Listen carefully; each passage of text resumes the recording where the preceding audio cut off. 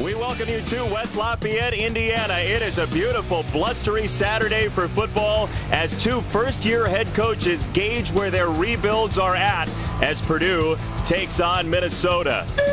And we are currently on what they call the loudest and proudest mascot in college football. Jason Benetti, Kelly Stouffer, and Boilermakers Special number seven. We are just uh, cruising around campus here, time. taking in the sights, enjoying it uh, with our driver Kyle. He's a, he's done a great job so far. Uh, these two first-year head coaches, PJ Fleck, we know about row the boat. Jeff Brohm's slogan on the front of the media guide is "Let's play football." They're different guys. And Jeff Brohm plays football offensively in particular. I think he has a great opportunity to win quickly here. It's really what Joe Tiller did successfully at Purdue. A fun offense, a veteran group on defense They're already playing incredibly well. PJ Fleck, 45% of his roster right now, freshmen and redshirt freshmen. He told us earlier in the day they're going to be a much younger team before they're much better. And so that transformation has already begun. Uh, There's a quarterback situation for both teams Yeah. as well. And for more on that, we're going to toss it uh, to, oh, right over there, our sideline reporter, Kris Budden. Hi, Chris. so much. As you guys talk about the journey of the coaches, both of these quarterbacks that will start today have had their own journeys. We'll start first with Purdue. Quarterback David Blough led the conference last year in interceptions. He's trying to change things around this year, but has been hampered with injuries. He suffered his second shoulder injury just two weeks ago. I talked to him this week. He says he feels about 100% and ready to give it a go today. But Jeff Brohm said you will also likely see quarterback Elijah Sindelar in there as well today. As for Minnesota, Connor Rhoda was done last year. They took away his scholarship. In fact, even participated in senior day. That was until PJ Fleck rode his boat into town and reoffered him a scholarship. Fleck told me this week that he hadn't even seen Rhoda play a down, not even on film when he offered him a scholarship, Jason. That's just how bad their depth was when PJ Fleck got to Minnesota. Yeah, we've got uh, we got row the boat versus sound of the horn today, evidently here in West Lafayette. Could you ask for a better day for You football? really couldn't. The wind's going to matter, though, in the kicking game, so we'll have to keep an eye on that. It is windy out here currently. Yeah, the wind's going to matter in your hair there Yeah, too a little I have bit. so much hairspray on that thing isn't moving. Uh, yikes. Minnesota, Purdue, toe meets leather right after this.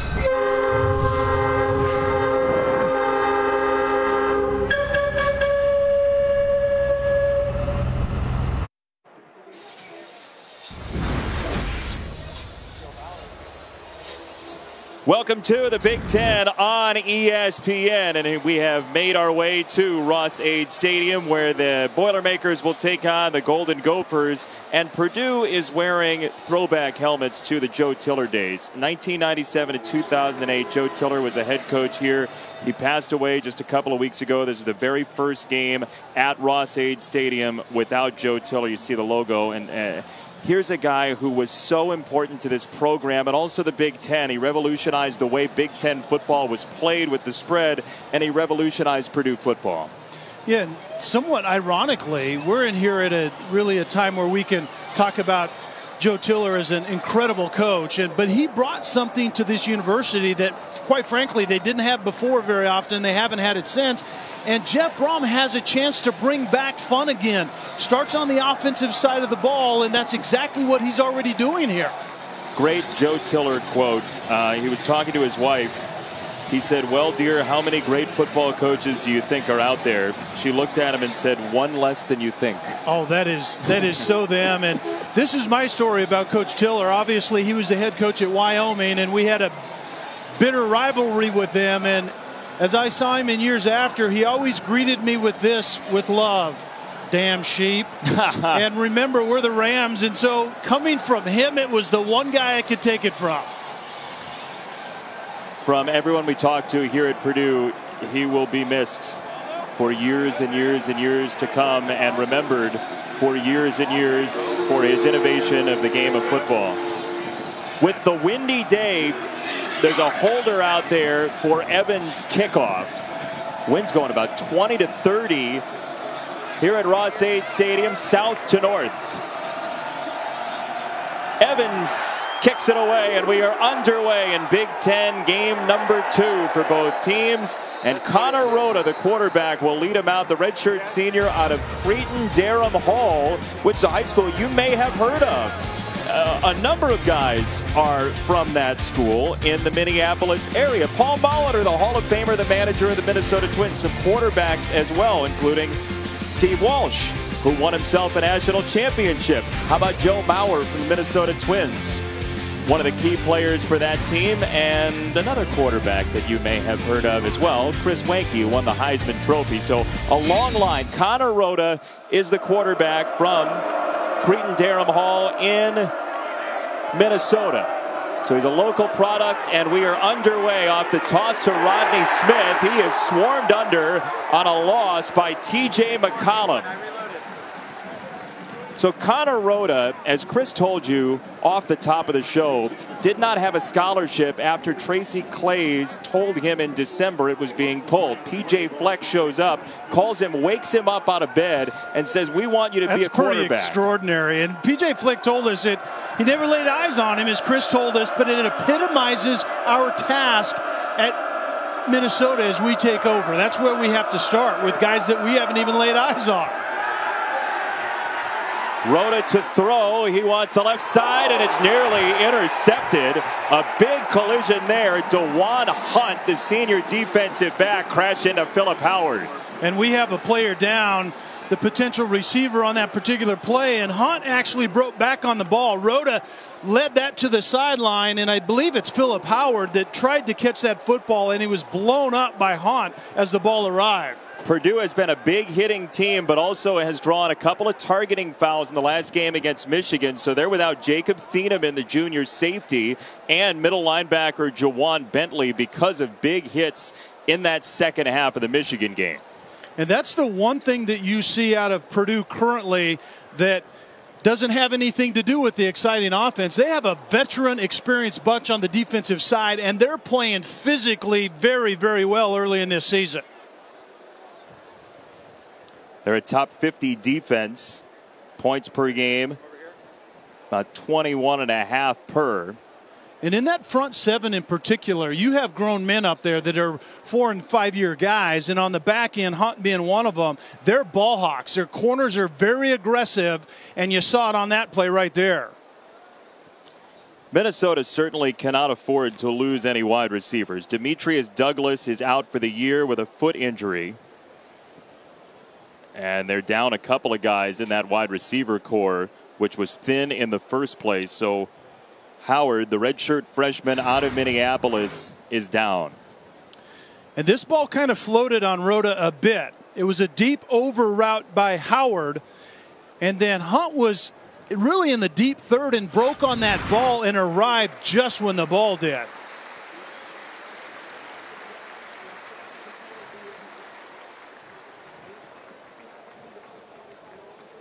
Howard sitting up and again Minnesota Yeah, that is fantastic news. Minnesota is a heavy running team, but on second down and long, they went for Howard and big collision.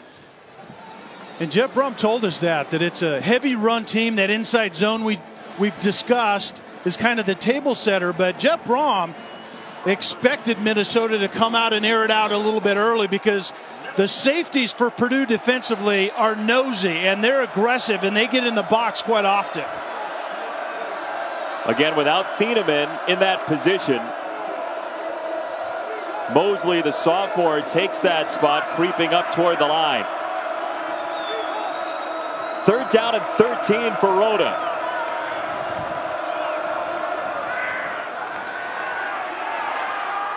Check down for Smith, and Rodney Smith veering across the 25. TJ McCollum with his second tackle. He only got four, and it's punt time for the Gophers. And it's going to be punt time, Jason, into a very stiff wind that's coming out of the south, blowing north, the open end of the stadium.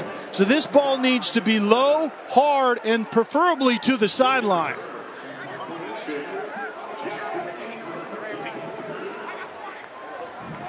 Jacob Herbers will punt for Minnesota. Ryan Santoso struggled with kickoffs last week, so Herbers rolls and boots this one, and that's not going terribly far.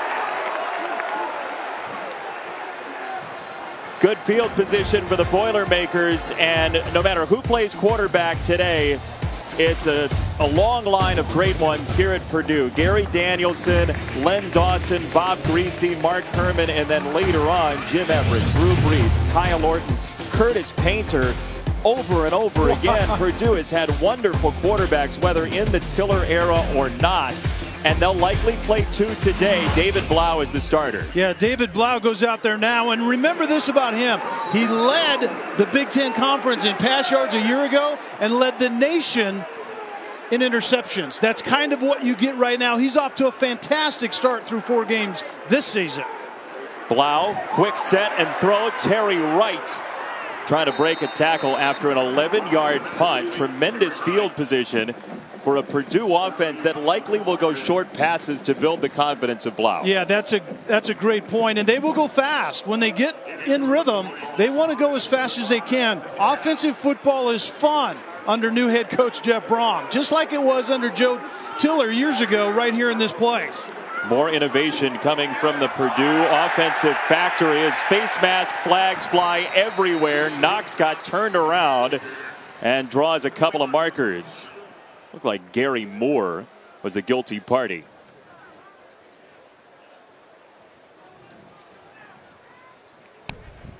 Personal foul, face mask, defense, number 19, 15 yard penalty, automatic first down. Well, Gary Moore will have to sign in in the penalty sheet with a 15 yarder that time.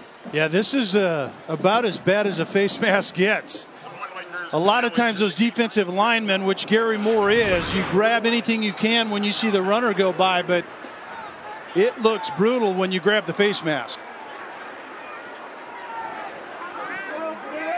Top 25 penalized team, least penalties, PJ Fleck's Golden Gophers, but they're a big one.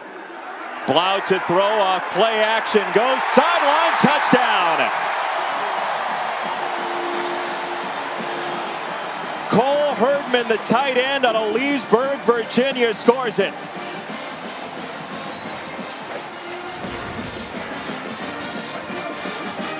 And quite frankly, it could have been one of two receivers. Cole Herdman, the tight end, is a very good receiving tight end. Four touchdown passes on the year and or catches, and he was wide open. That, was a completely blown coverage. There was also a wide receiver at the back of the end zone that didn't have anybody on him the hardest decision on that play was which open guy was Blough going to throw it to. And flags off the extra point. Extra points have been an issue. Kicking's been an issue for Purdue. And Jason, what we're going to see out of Purdue in particular is the use of their tight ends. They're still trying to find speed at the wide receiver position, but Cole Herdman, what we saw on that play, all of his catches eight coming into this game have been for first downs, and combined with his his colleague Hopkins at the tight end position, they have 20 receptions. Most of them, 14 have gone for first downs. They've alternated kickers. You'll see both Spencer Evans and J.D. Dellinger likely, as that one's no good. Back to the drawing board, special teams wise, but David Blough, the quarterback, withstands pressure, takes a lick, and gets it out to Herdman, the tight end. The Boilermakers are on the board first. Taco Bell is a proud partner of the College Football Playoff. Be on the lookout for Taco Bell student sections and passionate fans like these at games all season long. Some chancy special teams so far today from West Lafayette with an 11 yard punt from Minnesota and a missed extra point for Purdue. The Gophers will have it off of that touchdown to the tight end Herdman for the Boilermakers. And Spencer Evans, who's been a touchback machine, kicking off for Purdue. 17 out of 23 have been touchbacks so far this year, including his first today.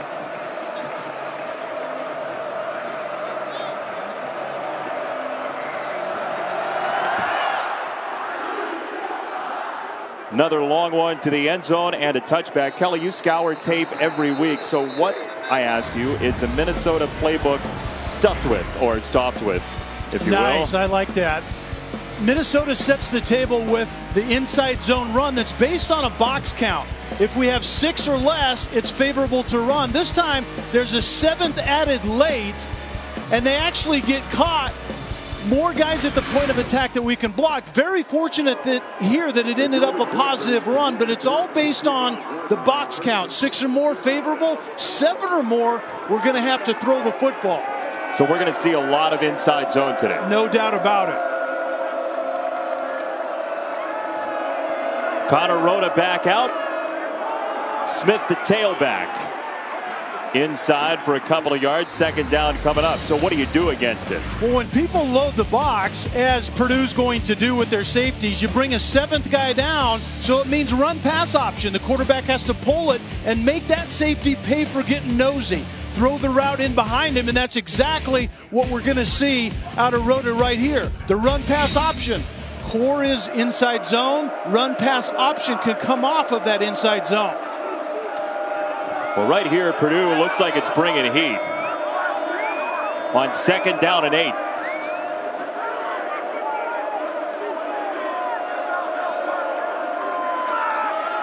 They will go inside, and Purdue lights it up. Garrett Hudson in for Bentley with a targeting penalty. Third down coming up as we check in with Chris. You guys were talking about Connor Rhoda's story and getting his scholarship pulled. I talked to him this week, and he said, you know, even though I was looking at other schools, I was looking at possible medical sales options. I had a feeling that something that my time at Minnesota wasn't done. And when PJ Fleck got hired, he was going to go into his office and prove himself of why he should be here. He didn't have to. Fleck called him first.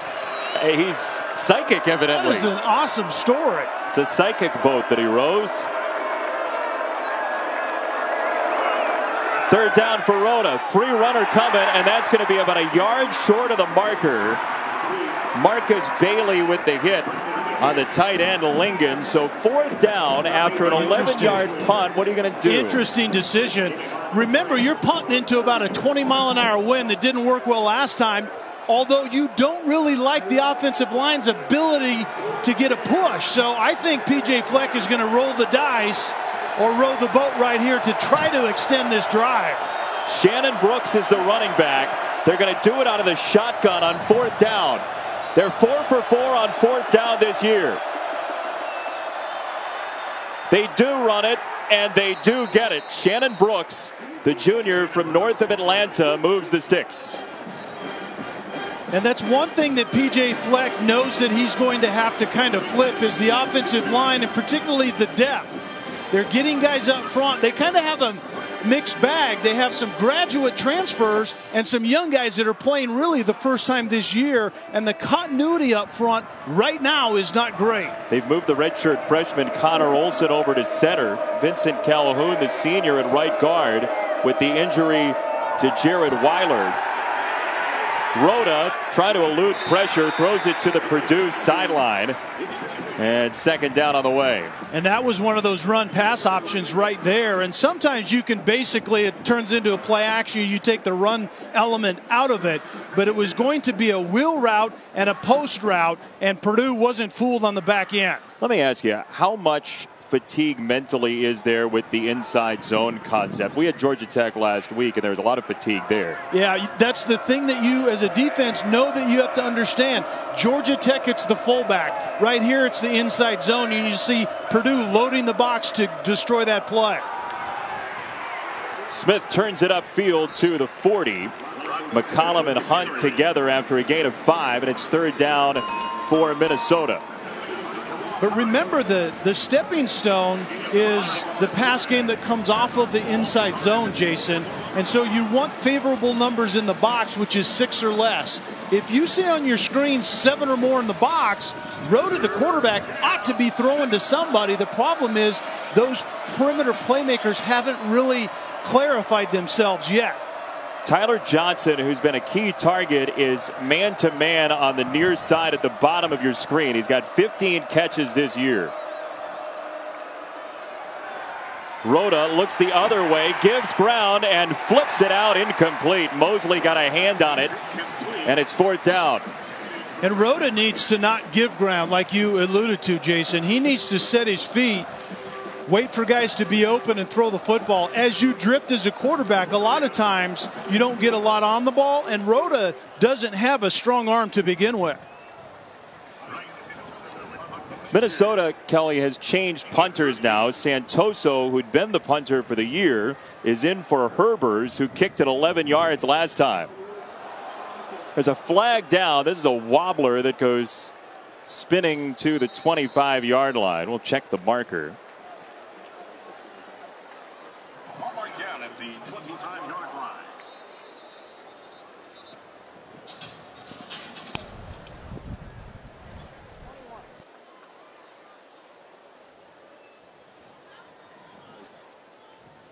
Well, if this is on Minnesota, I certainly make them punt this football again. It's been an adventure already in two tries.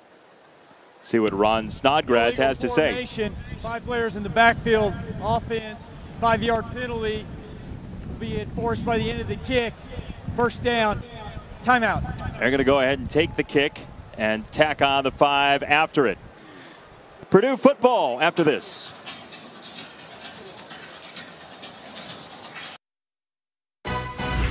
ESPN College Football. Brought to you by Liberty Mutual Insurance. Liberty stands with you. 20,000 square foot weight room in the new football facility. It's such a big facility and weight room, they needed a drone to capture it. As Terry Wright has this grab from Blough, who's been an 80% passer in the first half this year, and that's mostly been the first quarter for the junior who spoke at Big Ten Football Media Day about football and life and some of the hiccups that he's faced, including leading the league, as you said, in turnovers last year. He fessed up to it in front of all the coaches.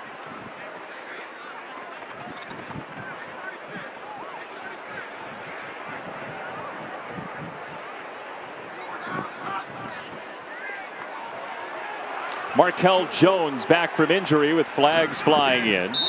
Kamal Martin to stop, and we'll check the marker.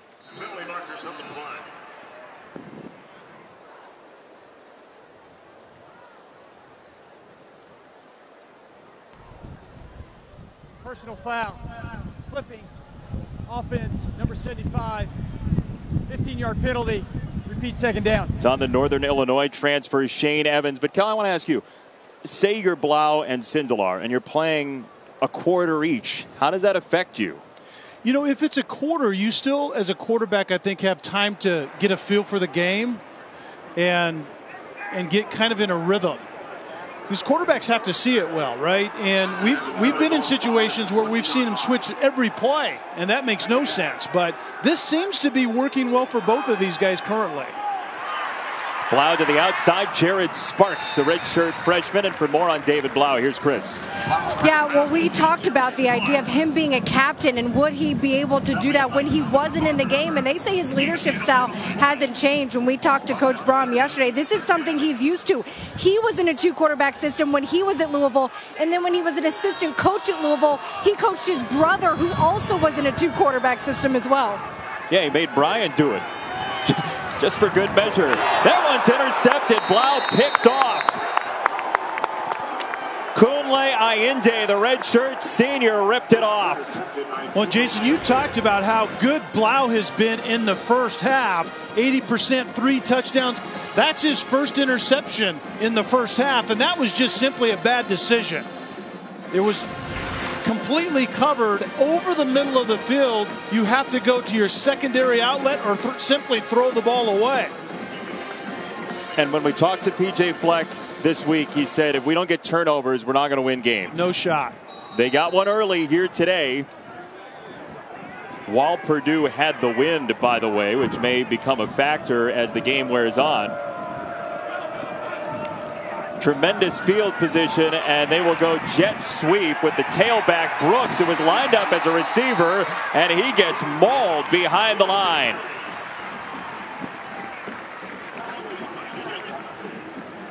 What happened with Ayinde's pick? I, I, just don't think that the quarterback Blough saw it early.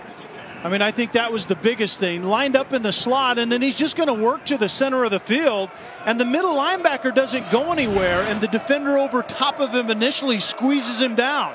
That was a closed door from the get go, and the quarterback Blough has the experience where he needed to diagnose that better. Brooks has a seam. Shannon Brooks inside the 15. And just out of bounds before the goal line. Blackman nudged him out. First and goal, Minnesota. And Shannon Brooks is more of the big play guy.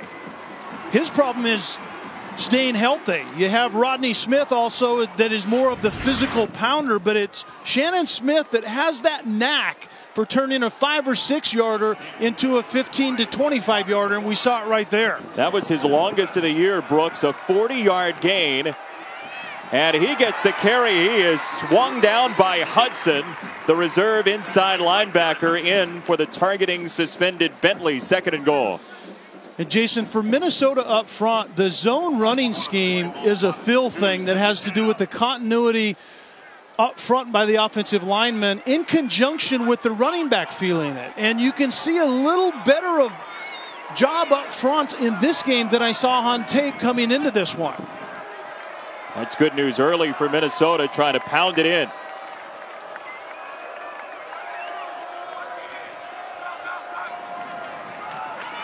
Smith, hesitation.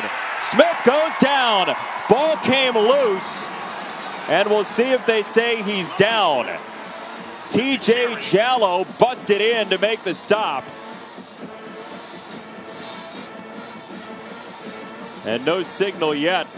It will be third down. How about the run defense for Purdue here? And it's nothing new for Purdue down inside tight.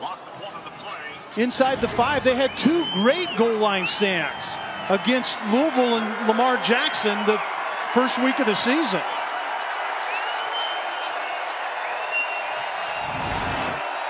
Very close to a fumble.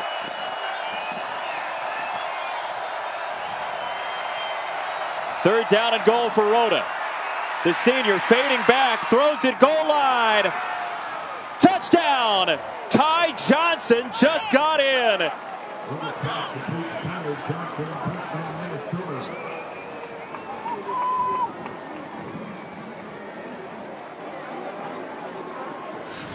Tyler Johnson's running what they call a Q route.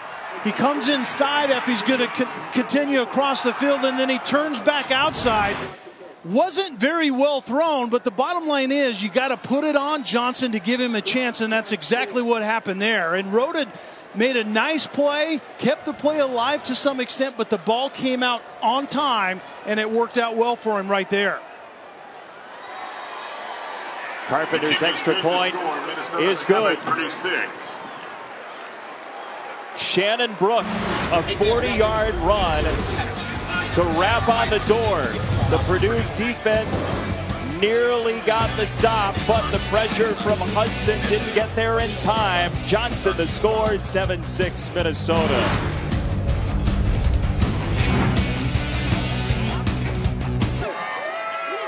7-6 your score. Minnesota with the lead over Purdue on the Ty Johnson touchdown. His third touchdown catch of the year. They do get points off the interception from Ayinde. And Ross-Ade Stadium, Kel, was a sellout Last time they were here against Michigan, first time in about a decade they sold the place out. But I, I, that speaks to what Joe Tiller did here, just rebuilding exactly this right. program. That's exactly right. And he gave the fans something to be excited about. The style of play, I think, was significant. The innovation on the offensive side, daring to bring the gun spread, pass happy offense into this conference. Are you kidding me? And then it worked he had the right players at the right time and coached them up, developed. All of those things work well. And by the way, it'll still work for Jeff Brohm. You feel like this program's in a little bit of a similar situation as in 97 when Tiller first got here, don't you? A lot of similarities. There's a bouncer, and they flip it to DJ Knox. They'll get across the 25, and that's it. Michigan State and Michigan. That's all you got to say about tonight's game. 7:30 Eastern, 4:30 Pacific on ABC. Also streaming live on the ESPN app. Everybody's going to try to hold on to the long snaps in the game, especially late. We'll find out how it plays. Michigan night games all time has had some success. But Michigan State kind of has that ability to have their the chip on their shoulder and all the younger brother stuff, and their defense is playing very well at the right time. Knox finds a crease and gets about five yards on a first down carry. How about Penn State earlier, laying the wood on Northwestern? Yeah, I think Penn State is uh, rolling. I think they're yeah. I don't I don't think they need a wake up call.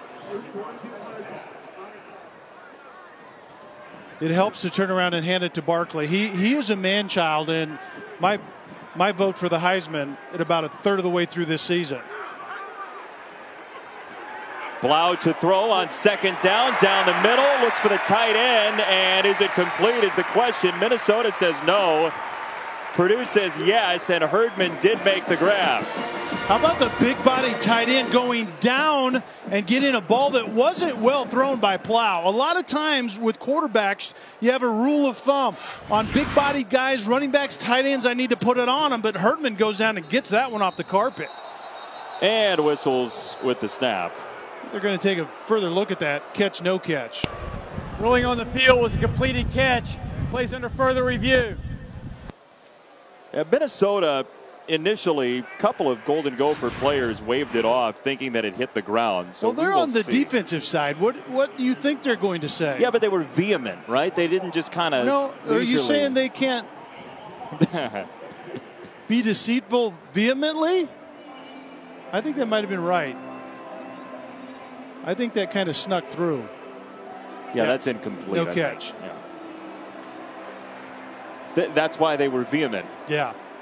But they are deceitful over there too. Those guys can be that way. You You're know just that. saying defenders in general as a former quarterback. Everyone on that side of the ball. That's kind of in their makeup. so what happens Part of their if you're a- disposition. if you're a two-way player then? You just lose the deceit when you come back to the offensive side from Oh, your vantage point or what? Yes, you have to check it at the door. You have to be honest and straightforward. We'll see if that 20-yard catch for Herdman, which would be his fifth of 20 or more on the year, see if it stands. Likely won't. And I think that is a theme, though. We're going to see the tight ends because the wide receivers for Purdue are still developing. And Jeff Brohm told us that, that he's still looking for those guys out there, specifically more speed. Herdman and Hopkins both are very productive. They have 20 catches, 12 of them have gone for first downs. They have now five touchdowns on the year at that position. You're going to see it today. If you think about what Jeff Brohm did at Western Kentucky, though, there was a lot of big play, splash play type stuff. Yeah, I think that's a cornerstone of his offense. Gadget plays anywhere, anytime, and splash plays. They don't look to drive the ball. They look to go fast, but they want chunks in there somewhere. Here's a guy who ran a gadget play on the first play of the game against Michigan and then the first play of the third quarter against Michigan. So the playbook is terribly deep. And, and we talked to Richie Worship, the running back, about that. And he said, look, he installs things on day one. We're expected to know the last week of the season. So there's an acuity and an intelligence to what Jeff Brohm does that pushes these offensive players. Yeah, it's in them. You know, they kind of they kind of dream about that stuff. Those great offensive and defensive minds. We're resetting it to 410. After review, the ball hit the ground in the process of the catch. It is an incomplete pass. It's third down at the 31 yard line. Please reset the game clock to 4 minutes 10 seconds. 410. Thank you. You know, Jason, that's a part of this wind that we haven't talked about. You know, what effect does that have on the ball? It isn't just when the wind's at the side and it can push the ball a little bit. When it's behind you, a lot of times as a quarterback, the ball will kind of take off, so you over adjust. And that time, I think the quarterback Blough just threw that ball a little bit too low and threw it into the ground. You think that happened on the interception? I think it could have been, but the interception to me was more about a really, really bad idea. Blough on third down. He can run, and he does run. near midfield. First down, David Blough. Cashman ushered him out after a gain of 18. This should have been the decision on the interception, quite frankly, Jason. It, if nobody is there, the third decision a lot of times is to run the football. And that's Blough worked through his progression. No one's there. Make something happen with your feet. As David Blough did for a first down just short of midfield. Play action. He saw the pressure coming. He hits Sparks, who turns it upfield and gets leveled at the 45 yard line by Celestine. And Purdue is a is a zone running team as well, but they almost always tie it to their RPO, their run pass option. It's almost always a two way decision for Blough post snap, like it was on that play. DJ Knox withstands a tackle and picks up the first down. It took Thomas Barber to drop him, but that's a muscular run for five. And now you feel kind of the rhythm of this drive already. And Purdue will try to go a little bit faster, multiple personnel groupings, and a lot of time movement with that. So Thomas Barber on that tackle, the brother of Marion Barber III. Father played here, running back at Minnesota as well and a couple of hard counts early to get more pre-snap intel. It wasn't just one hard count. The second one came as well. What do you gain? I think you just gain a look whether they're going to bring pressure or not from the defensive side, which they do. They got a real good look at that pressure. Barber came blitzing and sacks Blough. Well, maybe next time they need to go with three hard counts because two didn't give them enough information. That was just a blown assignment to the left side. The offensive line didn't adjust to that stunt, you're going to see the defender is going to come right between the guard and the tackle, and they just whip. One guy's going inside where you actually have a, def- a defender that has three guys blocking him. Obviously, that was a missed assignment by Shane Evans. Pressure coming again. Blough steps up and he airmailed it. That might be the win you were talking exactly. about. Exactly. The deep throws in particular. You you saw that where it kind of drives it when it gets up in the wind, not unlike a punt would or a kick would. The pass does the same thing, and that's a pass that you would like to drive, but it's so far downfield, you get it up in the wind, and that thing takes off on you. How can you practice for this scenario? It, you, you just literally have to throw into the wind, and obviously you can't orchestrate that on a daily basis, well, but you have to have experience in it. If anybody could, it would be the engineers here at Purdue. Blough to throw, third and forever, check down for Knox. A lot of space for Knox across the 35, and he's going to be close enough to go for it. Well, especially with the adventure that their kick game has been. I think Purdue will go for it right here. You have the wind at your back, so room is not a problem. I think it's a matter of not having confidence in that part of the game currently for Jeff Brohm. What's your play call?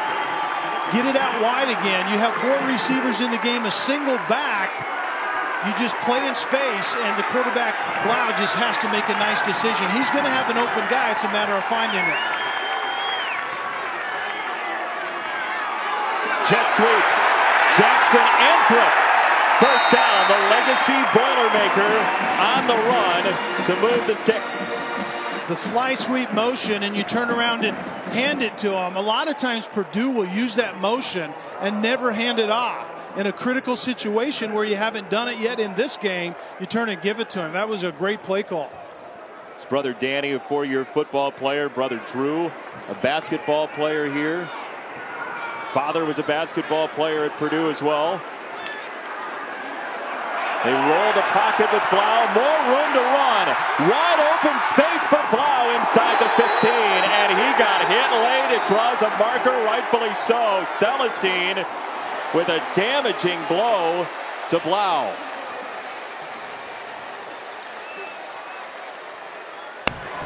After the play, personal foul. Late hit out of bounds, defense, number 13. Half the distance to the goal, automatic first down.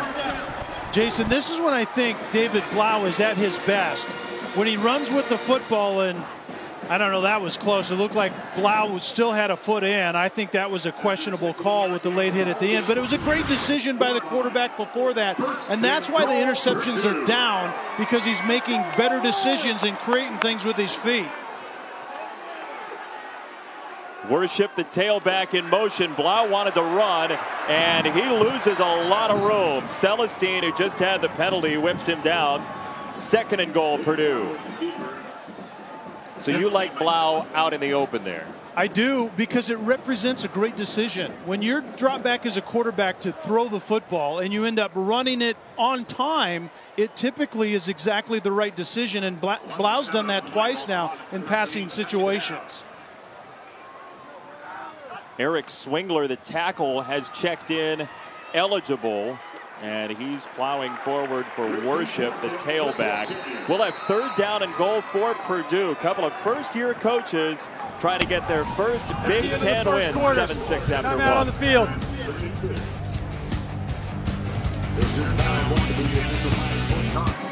You may think they're best friends, but the ESPN app is a fan's best friend. Every ESPN and ABC college football game live at home or on the go. Scores, news, highlights all season long. Download the ESPN app to start streaming now. A lot of great games earlier. Clemson remains unbeaten with the victory over Wake Forest. And here, third down and goal for Purdue against Minnesota. And Purdue still perfect in the red zone this year. In nine trips, actually, goal to go, eight touchdowns, one field goal. That's pretty good. Play number 13 of the drive. Blough into coverage, intercepted. His second pick. This one's Kamal Martin, and there was no window for Blough. Cole Herdman going to the back of the end zone. The tight end just releases and gets upfield but he was doubled, actually might have been triple. This is a great example of a quarterback just simply getting locked in.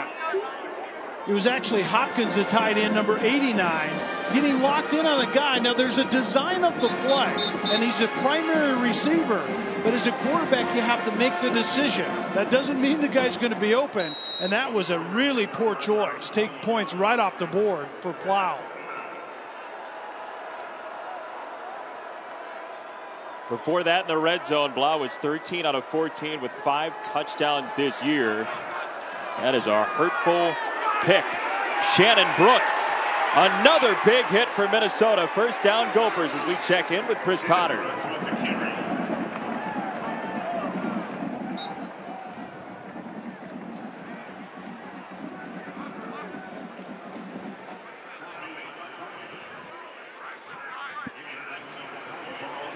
Well, that's a Maryland team that just beat Minnesota last time out. And these are two teams right here kind of trying to find their way, and neither coach really wants to lean on the record in year one, but this would be a nice push it in the right direction sort of victory. Smith, the tailback, jockeying through traffic. He could go. Rodney Smith down the sideline keeps his feet and goes twirling inside the 15 yard line. Oh, these two running backs, Smith and Brooks, this one for 51. And one of the staples of the zone run is always to have the vision to get out the back door if a defense over pursues, and that's exactly what Rodney Smith did on this play. If you over pursue on the backside, a running back that has the speed and the eyes to get him there is going to make you pay, and Smith there. How about Rhoda going from Minneapolis yeah, to New York City for that block? All the way downfield. Goal to go for Minnesota. This one is bottled up with Brooks. Shannon Brooks, whose mother was in and out of jail when he was growing up, basically was assisted in raising him by a local middle school teacher. And what an impressive young man Brooks is after everything he's been through. And this is a great situation that Minnesota has. I think the strength of their offense right now is certainly their running back position with Rodney Smith and Shannon Brooks, and they're best friends, and they don't mind sharing touches. And trust me, that doesn't always work in, in various locker rooms. You saying that you had to share reps with somebody you hated? No, I've had to share the locker room with running backs that hated it. Timeout. Timeout. Minnesota by Minnesota. Timeout on the field. We'll hear more about Kelly's locker room vengeance. You got to learn to this. share. Seven six. Your score is second and goal after this. Well, we told you the inside zone is a staple for Minnesota, and the running backs have been very good early on. Yeah, both running backs have had a really big run, but that's also part of the inside zone scheme. The defense gets tired of being doubled on the line of scrimmage. Linebackers get tired of being reached, and they get over progress or over aggressive, and they pursue over top of the ball, and you get those big cutback lanes, and we've seen Minnesota get there. Second and goal out of the timeout. Rhoda with an option for Brooks. Seeking the pylon. He was out of bounds, short of the goal line. It's going to be third and goal. McCollum and Bailey, the linebackers, together to knock him out. That was a new little wrinkle. The speed option, just attack the in man on the line of scrimmage, and if he jumps upfield to get the quarterback, you make a simple pitch, and that's exactly what happened on that play. Rhoda's running the offense really well, really efficiently, and that's really his role. He's a game manager and just make great decisions. He's always been in charge quarterback, point guard, catcher, pitcher in high school. All of those guys make great decisions. Play action. Rhoda stared down the blitz and throws a dagger to Lingen for the touchdown.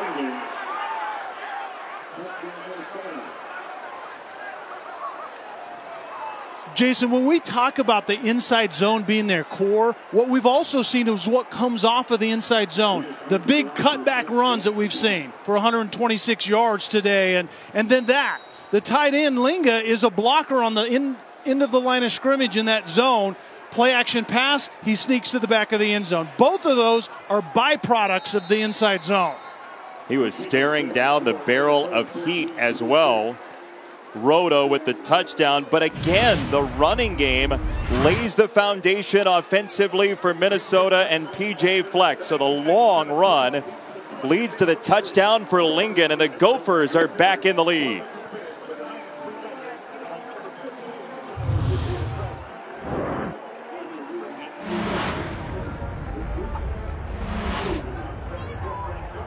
There's a guy with the touchdown, the tight end Lingen with the score for Minnesota, take a 14 6 lead.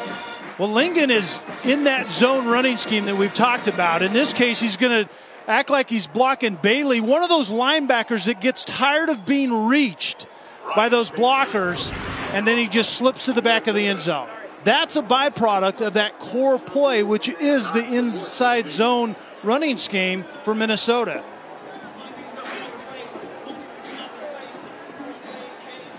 The most resistance for the Gophers so far has come from the wind, which is why Santoso needs a holder.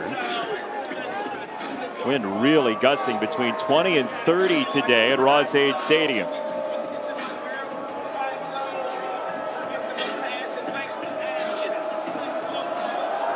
Santoso gets a good leg into it for a touchback. Chris Cotter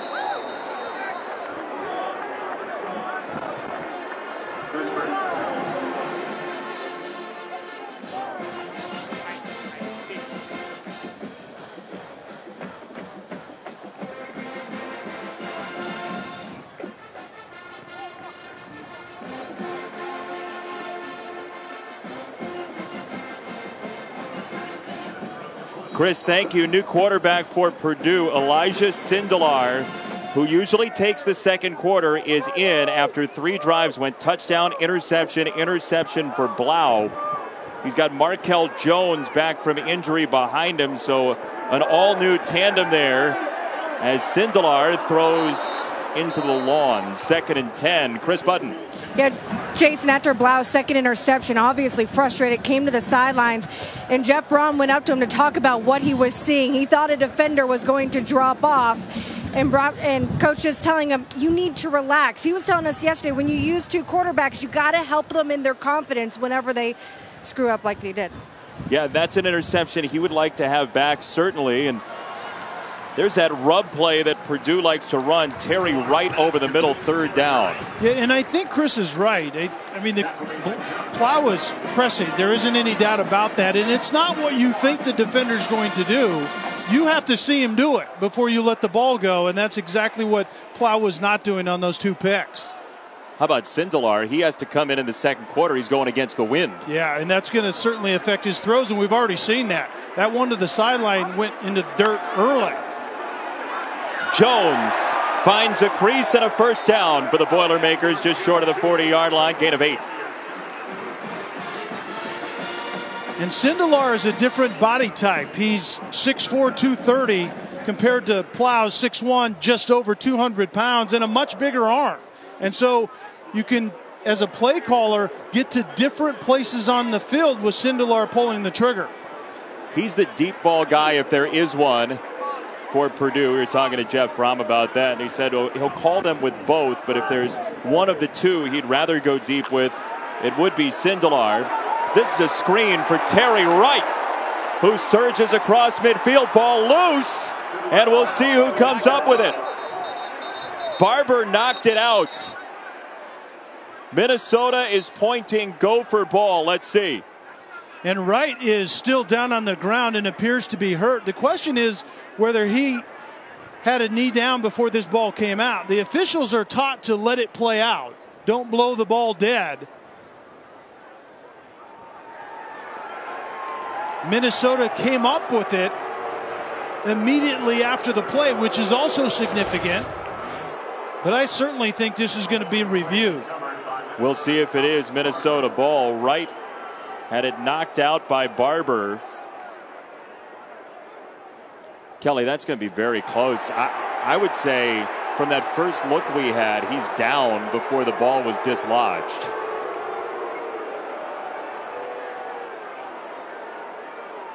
Wow. Again, we're starting with the call on the field, which was fumble. So there would have to be indisputable video evidence that he was down prior to the fumble. You'd need that amount of evidence to overturn the call. What's your takeaway after seeing it a couple times? I think there's enough evidence to overturn that. And say he's down. Yeah, I think that left knee was down before you could really see that ball coming out. And that word indisputable is always the key. Well, this would be big for Purdue's confidence as well. As Jeff Brohm said, this is a team that sometimes still doesn't necessarily feel like it's going to win games. They're and 9 and 39 last four years, and you lose this one, which they might. Yeah, and I look at this last look here, and I think that ball is moving, which may be enough to keep it as it was called on the field. I, it's so hard, and that's why we need to always keep these things in mind when the replay booth is is taking a look. The guys on the field are calling it real time, and they are taught to do what they did. Let it go. It gives you more options on, on, the, the back field end. Of the fumble is confirmed. There was no clear recovery at the end. Of Minnesota recovers out of the pile. First down, Minnesota. Well, I think that was a misspeak by Ron Snodgrass. He said there was no clear recovery, and Minnesota came out of the pile. Minnesota did recover. Right. So there was a clear recovery. Right. Or we couldn't have given the ball given to Minnesota. The ball to Minnesota. Third straight turnover for Purdue, no matter the semantics of it. And now the officials are going to talk it over again, and that I, may be part of the issue. I think the verbiage is going to be questioned. It isn't a matter of who comes out of the huddle with it. Was it recovered in the immediate action after the fumble? That's what we're looking for. If there wasn't a clear recovery, then you can't give it to that team. And that, I think, is what Jeff Brohm's saying. Uh, he's in XFL mode right now. Yeah. Talking to the wanna, officials. We probably don't want a mic on that conversation. We've not had an official further explanation. Here's Snodgrass. Replay official ruling on the field of a fumble will be further reviewed. Ruling of a fumble is under further review. Okay, so now it's under further review, which is further than the further review from the previous. I think that's furthest. I, th- I, think that's what we're looking for. I it's the furthest so. review. Which which is ideally where you get the first time. But this is an important play for the Boilermakers. Again, Jeff Brohm is in his first year with this team. they haven't turned it over a great deal those first four weeks of the season. But if you give it away a few times, like three straight possessions, as we told you, then you start to get the feeling of, oh mm-hmm. boy, here we go again. Yes. These And- guys didn't know how to win, he said. And that is the primary thing that most coaches that come in under adverse situations, i.e., the previous guy was fired, that's what they have to protect against, right? Is they have to change that because when the heat is on, everyone starts looking around saying, when is something go- going to go poorly for us? Right. And so you're right. Purdue's in the in the midst of responding to a touchdown drive by Minnesota, and they do not want to give this ball back. I mean, they can also review the recovery of the ball here on the back end of the play. Mike Mendez, the offensive lineman, was in that scrum and looked like he might have plucked the ball at the back end of this play. As you take a look at it, you can decide for yourself, but uh, that's very difficult to overturn as well. To have a clear recovery, again, you would need indisputable video evidence of the clear recovery in a pile like that. After review, the ball was loose before the runner's knee was down. It is a fumble. First down, Minnesota. I thought that's what we had already learned, but we've learned it twice now, and Minnesota will have the ball no matter what. Yeah, I, I'm not on board with the way that was handled, to be perfectly honest. We concluded that it was a fumble. It's about the immediacy of the recovery that I thought was in question. If you're Minnesota, you go for a big play here.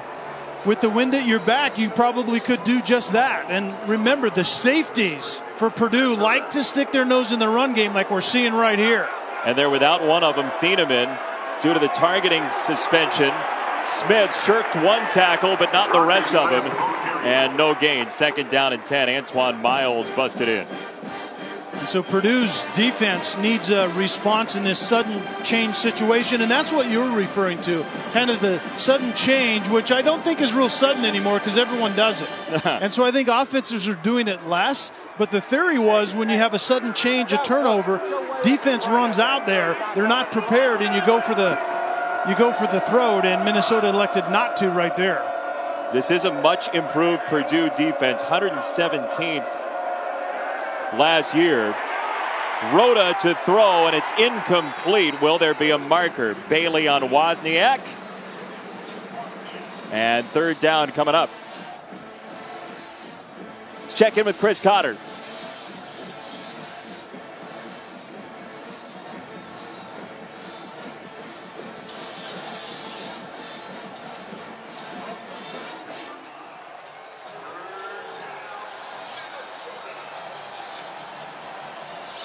Always a fun one, Navy and Air Force.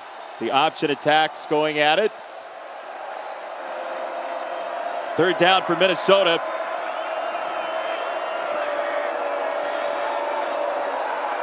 Redshirt senior Rhoda with Miles bearing down on him. Rhoda steps out of bounds, and a nice job by Gelen Robinson, the son of big dog Glenn Robinson, to not go after the penalty. He had a good job of understanding that Rhoda, that's really his second read right there when he tries to make something happen with his feet. In the end, there wasn't anything to be done. Rhoda makes a good decision and doesn't throw into coverage, and they should be able to punt this and flip the field, field position wise. Santoso with the wind at his back. Sends it up into the jet stream. Anthrop lets it bounce. It checks up. Minnesota gets down there at the one yard line. 54 yards on the punt. Eric Timeout on Carter touched it up. Purdue way back there after this. and coverage is streaming live on the E ESPN app. Download now and take ESPN everywhere. You got to have the ESPN app for the 3:30 window. Games galore going on as Purdue trails Minnesota 14 to 6 and the Boilermakers have to go 99 yards. Purdue though does have a touchdown drive of 96 and 97 this year.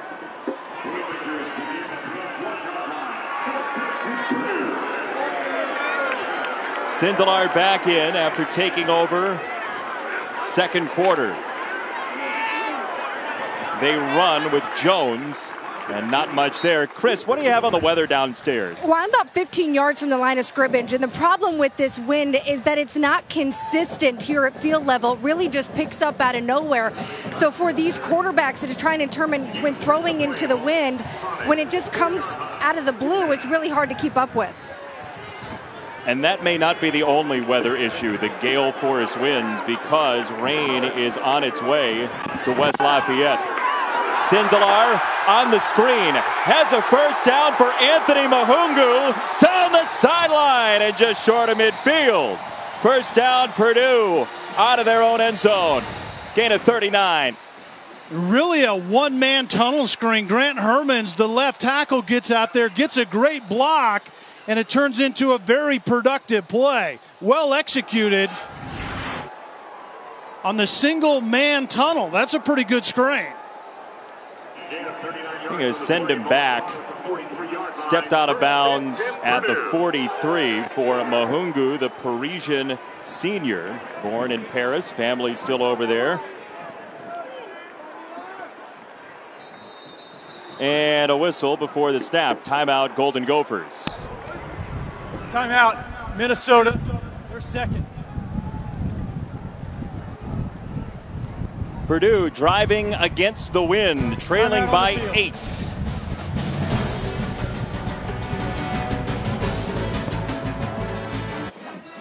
Out of the PJ Fleck timeout, 14 to 6 Minnesota. Anthony Mahoungou with a long run down the sideline off the tunnel screen, but he was a little further back than he had planned, as you see.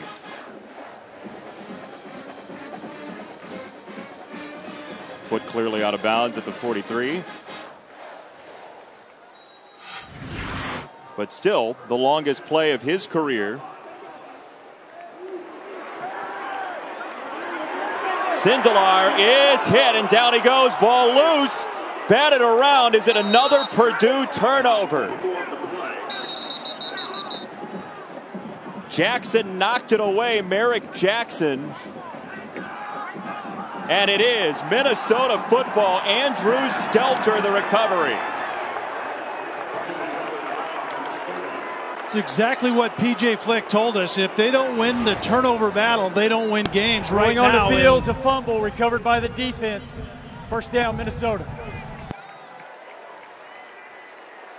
I think that ball is clearly out. There isn't any doubt about that. And again, we get back to was there an immediate recovery? But what they had going on, did Purdue outside was was a game on the screen game. They were running a double move outside. It was well covered and Sindelar just needs to learn that if we don't get him on a play that's somewhat of a gadget, that ball has to come out. Remember what PJ Fleck told, told us? He wants his linemen and his defenders to have a fascination with the football and yeah. bring him the ball. They do that in practice on turnovers.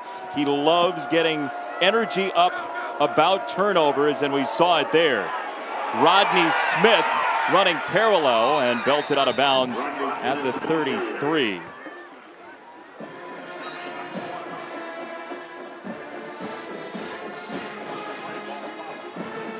So Da'Wan Hunt knocked him out of bounds. This is a thin Purdue secondary with the suspension for Jacob Thieneman off the targeting penalty against Michigan in the second half. And Jeff Brohm said, look, we just have to be smarter tackling wise, losing both Thieneman and Bentley, who are getting loose at the football facility as we speak, likely with a TV in front of them watching the game.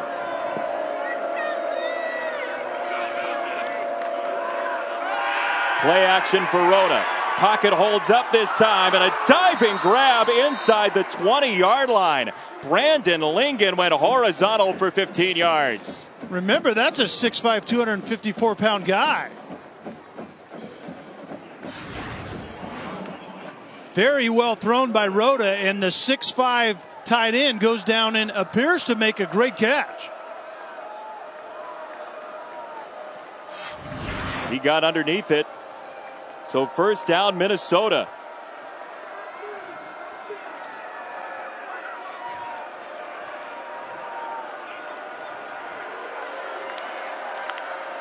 Rhoda clapping for it and finally gets it. Brooks puts his head down as we check in with Kris Budden.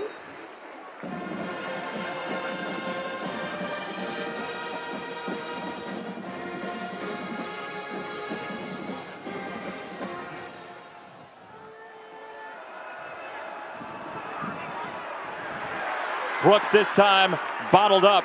Nothing there. Lorenzo Neal, the son of the former NFL fullback, with the tackle.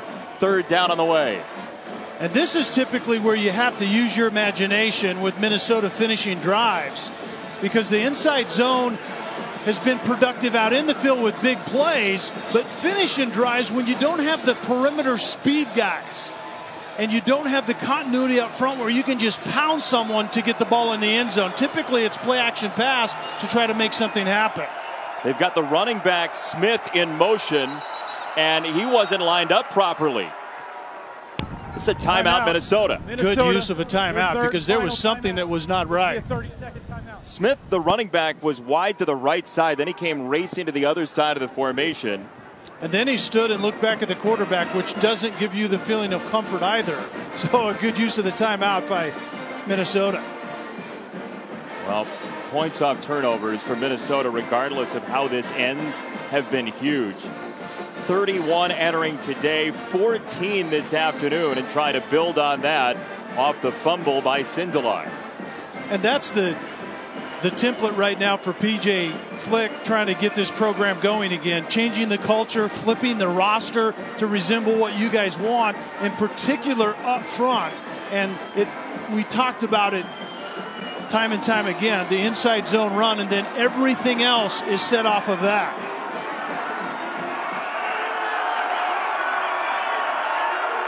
Third down and two for the Gophers. Brooks hopping through, pushing the pile. Rhoda says first down, and it looks like he's very close. Robinson stopped him at the eight, but that's all he needed. And that's a good sign for Minnesota up front. It's not really the all out consistency right now that you're going to get, but can you be effective in times like this? Third and two, deep in the red zone. Can you get a push and get a good measurement and continue this drive? Well, Minnesota doesn't mind taking the air out of the ball at eighth in time of possession in the FBS coming into today, and we'll see if they do pick up the first down.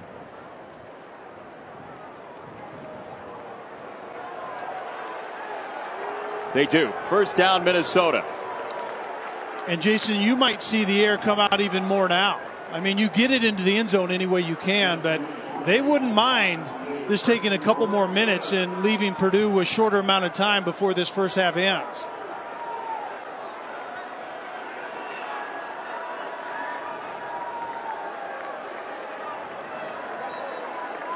Under six to go, first half. Minnesota's won four straight in this series. Some close games in recent memory. Here's that option again. Rhoda turns it upfield, lost the ball. And let's see. Did Purdue get it back? Oh, it's a disaster for Minnesota on the way in. Ezechukwu knocked it free. Mosley recovered for Purdue. And that's the second time we've seen this play deep in the red zone by Minnesota. It's the option where they just go quick to the in man on the line of scrimmage. Rhoda made a good decision initially, but then didn't protect the ball as Purdue had it well defended. Is he down? That certainly is going to be the question right now. Sideline warning. Sideline warning Purdue. That's the least of anybody's worries right now. Well, there was initially a flag on the field, but the official hustled over and stuck it in his pocket. This certainly is being looked at, and I don't know. It looks like, once again, it's knee down before the ball starts to move. The ball doesn't have to be completely out, and it was called a fumble on the field. The ruling of a fumble recovered by Wow, the that's defense is under further review. Well, Tom Fiedler, our replay official, is going to get paid time and a half and then some today. It's been a busy afternoon at Ross-Ade And they've had some tough ones. They have. I mean, kind of some bang bang. Is a knee down before the ball's not out necessarily, but is it moving? on its way out. And then you can have your own conversation at home about what indisputable video evidence is, but what you need to know is the call on the field was a fumble, so they need to have that evidence to overturn it. And that word almost always wins. You know what I mean? It is almost always the deciding factor. And Rhoda had it initially, and then that was Mosley jumped in. Mosley, and that it's a free for all at that point. There's some things that go on at the bottom After of the pile review, that ruling on the field stands first down. yeah Purdue. stands first down, and that's what you hear a lot. That's where indisputable video evidence wins when you get the stands. There just isn't anything to overturn it. That was Danny Ezechukwu, the senior with the forced fumble. Make a note beside that turnover. When you don't get anything, when three is the worst you can do, and Minnesota coughs it up, and Purdue now has the ball. Could have been a two score game. Is not. Quick hit for Anthrop, turning it upfield to the 15.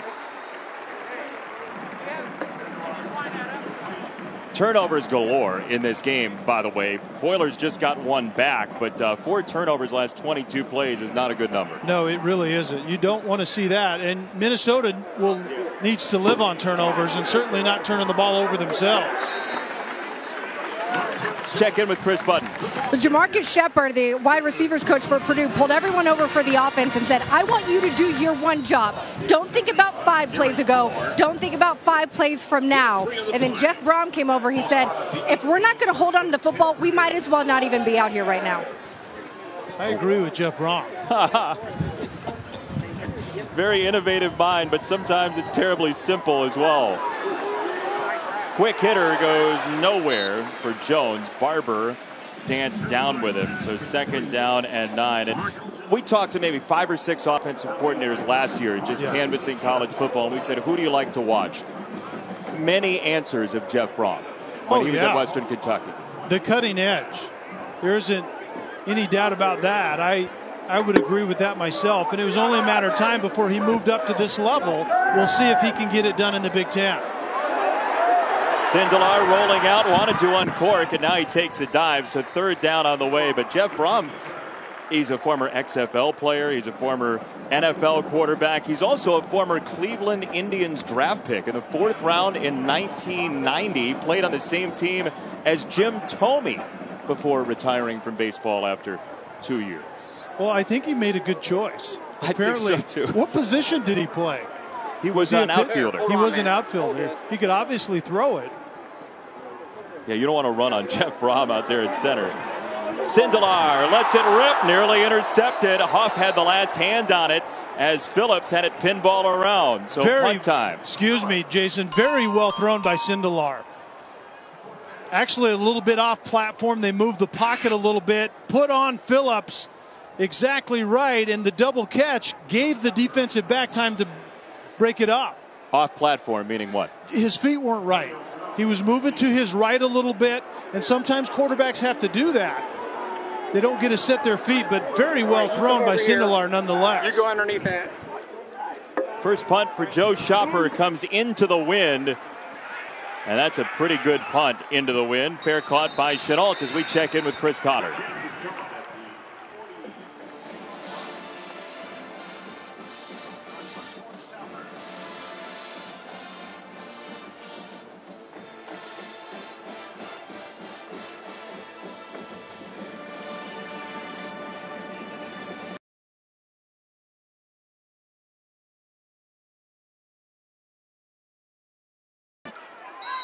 How about Matt Campbell, the former Oh. Mount Union guy at Iowa State? We saw that starting to show up when we were in there. They lost a heartbreaker to their in-state rival Iowa, but he's a sharp cat. You talked about Jeff Brom. Matt Campbell is right in that mix. There goes Rhoda.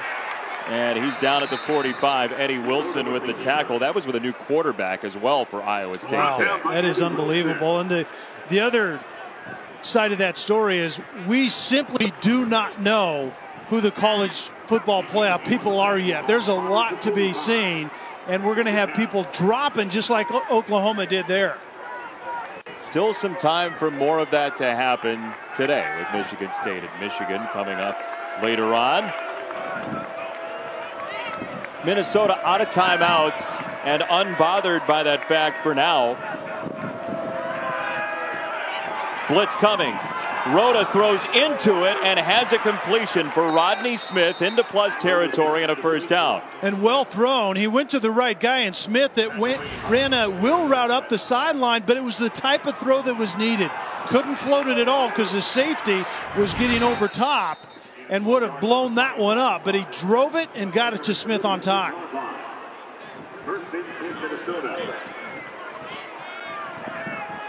Golden Gophers top 10 in the nation in time of possession, down to two and a half first half. Smith straight ahead, and the Gophers willing to take some time off the clock. And I wonder what how long it's going to be before Rhoda keeps that and gets outside. The edge rushers for Purdue are simply not paying attention to the quarterback. And when the quarterback boots outside, he's taught to look for that very thing. Did anyone have you or did they not? And you give the quarterback or the play caller, you know, a report, and they come back and run that sooner than later. 22 runs, 10 passes. First half for Minnesota. As you said, their core play is that inside zone. We've seen it a bunch. Rhoda to throw, launching with the wind at his back and incomplete. Mosley on the coverage of Lingen, and it's third down. Great play by Mosley. Outside linebacker running with a very good receiving tight end in Lingen, and that was well defended. Hit him, I think, right in the back of the head. This could have easily been pass interference because he doesn't turn and look back for the ball. No pass interference called, which I think was the right call. There was a little bit of contact, but I think you have to let him play on that one. That's a 19 year old safety, Mosley, against the senior tight end, Lingen. Third down. Purdue rushes four to the outside, and Smith. And he is gang tackled at the 39. So if you're Purdue, do you call timeouts here or no? I think you do. I think that's who Jeff Brohm is. But I, at the same time, I say that Jeff Brohm doesn't have all the pieces in place that he wants, and so I think at Western Michigan a year ago, he would want to get all of the guns out. I mean, all the bullets out of the gun. But here, I don't think you do. Yeah, Jeff Brohm with those three Conference USA offenses that you really couldn't stop back to back championships at Western Kentucky, and maybe a year, two years down the road, he burns a timeout here? Every second, no doubt about it. Here comes the flag for delay. Delay game. Offense. Five yard penalty. Purdue right, has declined the option of a 10 second runoff. Fourth down. Sorry about that, Ron. Uh, let's take a look at this week's AP rankings brought to you by PlayStation. Alabama, Texas A&M, 7:15 Eastern. Who you got? Alabama. You thought a, about it though. By a bunch. I was actually looking at something else when you threw me that question. I wasn't paying attention. Alabama and Clemson are way above everyone else on that list. Penn State maybe a close third, but there's a lot of sorting out to be done. That is a bad choice by Anthrop. Why touch the ball there? You're Red well inside. freshman. You're well inside the ten. It's those decisions that just drive Jeff Brohm crazy. You're inside the 10 and the wind is blowing 20 to 30 miles an hour. All of that has disaster written all over it. And by the way, that's not a legal fair catch signal either because he only waved the one time. Yep. You have to have multiple waves above the shoulders. That didn't happen there. No flag, but where could they have gone anyway?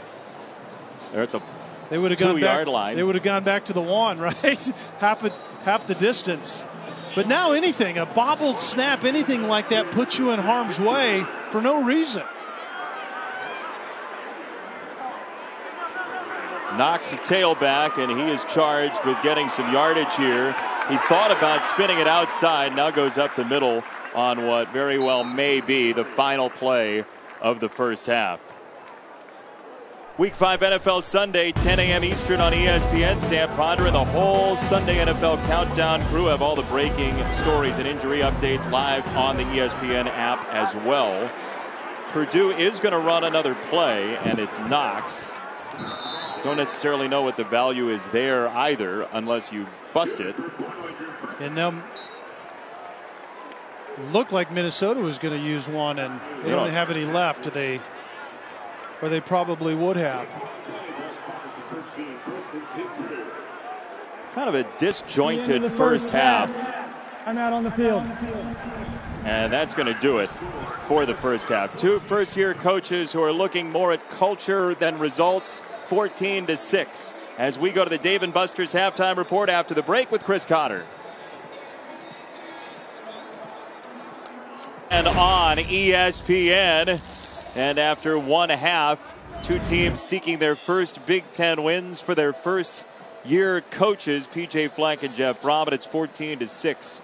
Minnesota with the lead. Purdue, though, will have the ball out of halftime. Jason Benetti, Kelly Stouffer, Kris Budden along with you. And for PJ Fleck, the first year oarsman for Minnesota, he's got to be happy with the turnover situation so far. Yeah, taking the ball away, but they didn't get a lot of points. But Purdue has to feel very good about themselves in the sense that we can spit the bit four times and only be down by eight. That's a pretty good thing. That was a really out of sync first half. I was in sync with you, but the game on the field wasn't really a thing of beauty. No, and it may get worse. Kris Budden's going to let us know in moments exactly what the weather's like in the future, but here's a hint. They've closed the south end zone patio because of high winds here at Ross-Ade Stadium, and that's why there's once again a holder for Santoso, who tees it up to begin a half number two. Knox from the 10. DJ Knox with a seam to the outside and out of bounds as we check in with Kris Budden. Well, Jeff Brohm stating the obvious when I talked to him, we had to take care of the football. So I asked him, How do you coach against that in the second half? And he kind of laughed and said, You know, I don't know because it hasn't been a problem for us so far this season. He did tell me Elijah Sindelar will start the second half. And I hate to be the bearer of bad news, but as you can tell by my hair blowing everywhere, the weather is about to come in. They're expecting the winds to get up to 35 miles an hour. Here is a look at the radar. They weren't expecting this storm to come in until about 6:30, but it is moving faster than they expected. They're expecting the winds and the lightning to come in so bad that they've actually told all the tailgaters to take all their tents down. Wow. And, and Chris, you know that Purdue is a pass happy team. And if the weather turns bad, that's why I think Purdue needed to get off to a much better start in that first half. Good field position for Sindelar after the 15 yard personal foul penalty that gets him up just short of midfield. So 23 yard return, 15 yard penalty, and knocking on the door at the halfway mark.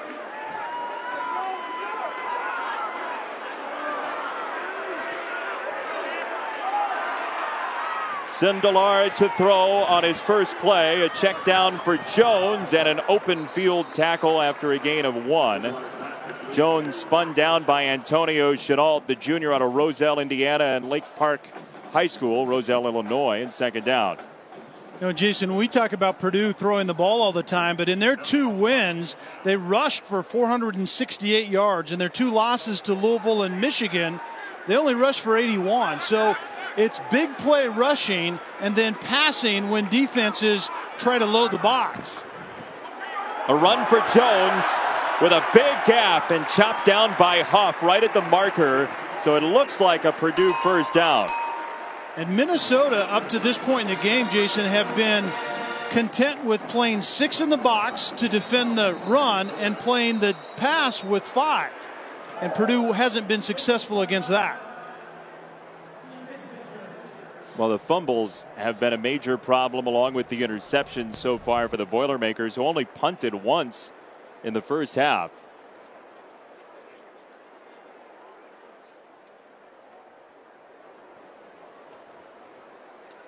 So it is Jacob Huff who's down. He was the one with the tackle. And that's a place where Huge. Minnesota just cannot afford injuries. Antoine Winfield Jr., a hamstring injury, not playing today. Duke McGhee, the other starting safety, suspended for not doing the right things, as PJ Fleck said during the week. And that's one thing he told us. Look, we're we're not going to compromise moving forward with something like a suspension if you're not doing it the right way for our program. The culture is more important than anything, and what he calls year zero. Yeah, you have no choice but to make those decisions if you want it to stick. Laying the foundation is about making some of those tough decisions. He told us, quite frankly, some of our best players aren't with us currently. At some point, you're going to get evaluated for wins and losses, but for both these coaches, there's a grace period. Yeah, and it's about three years.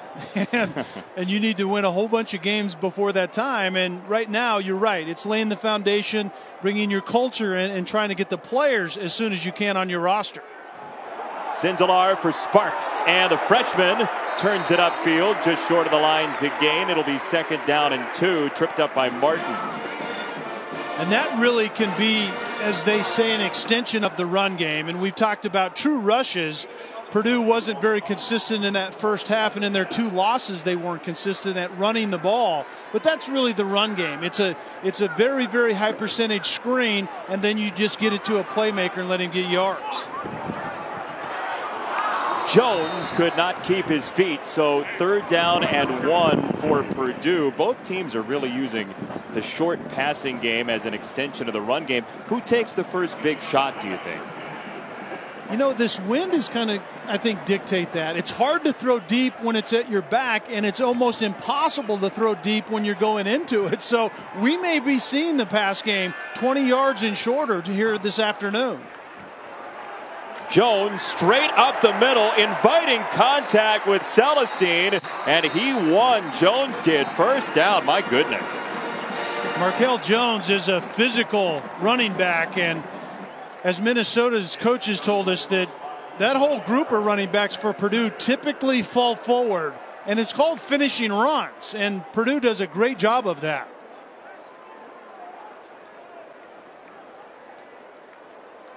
Eighty-eighth in the country in rushing offense coming in with some slow games, although close games, as Sindelar whips it for Zico and he couldn't hang on. Shenault on the coverage, second down. Run pass option. I think a good decision to pull it and not give it to the running back in a very well thrown ball, and Zico just couldn't finish. Shenault was there, but he was at the back side of the receiver, thrown very well and should have been caught by Zico. Elijah Sindelar, the sophomore out of Princeton, Kentucky. He played in some mop up duty last year, five games as a reserve, and he hands it off this time. Third down coming up. Carter Coughlin got in there on Jones. So now third and long for a Purdue offense that hasn't taken many deep shots. And see, it's that second down run that doesn't happen well that puts you in third and long. And that's what Purdue did well in their two victories. They were able to run it productively when they wanted to, and then it opens up that pass game.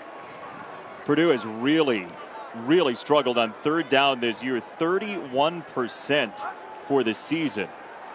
Sindelar, shovel pass, great call. Markell Jones to the 15 yard line. There's the ingenuity from Brohm. Defensive end, Blake Cashman, 36, runs upfield, and then you just essentially invite that edge rusher in and shovel it underneath. And you're right. For play callers, the best ones in the business, it's a feel thing. Some of it you can anticipate, and that was great anticipation right there by Jeff Brohm. He learned from Bill Walsh, among others, in his 49er days. Sindelar runs right into the pressure from Carter Coughlin, who had one play off, and his return is a big one. Coughlin got around Steinmetz on that, plays the right tackle position, and just kind of a hard rush around the edge. No real move. He just ran the rail, as they say, Carter Coughlin, and got around the big offensive tackle.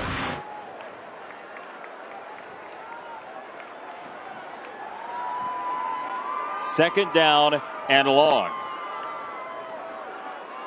This has meant screen game for Purdue up to this point in time. Sindelar rolling the pocket, Dumps it off for Knox. Upfield he goes. Touchdown! DJ Knox!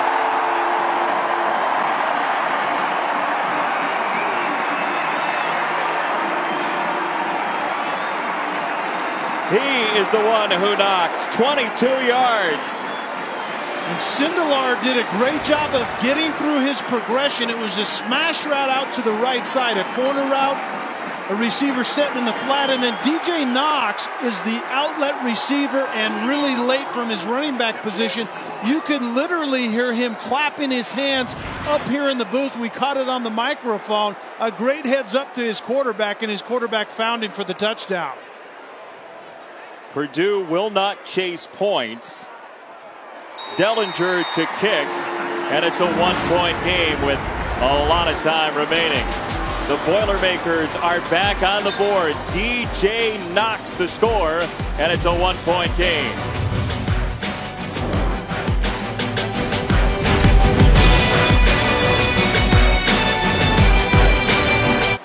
14 13, your score in a close one. Two first year head coaches, PJ Fleck and Jeff Brohm. Jason Benetti, Kelly Stouffer along with you. And look, you're going to have uneven games, right, when you're in your first year as a head coach? And I think that's one of the big challenges. You know, there are going to be ups and downs, turnovers in the first half. Purdue looks great when they hang on to the football. Minnesota may not have capitalized on enough of those takeaways in that first half.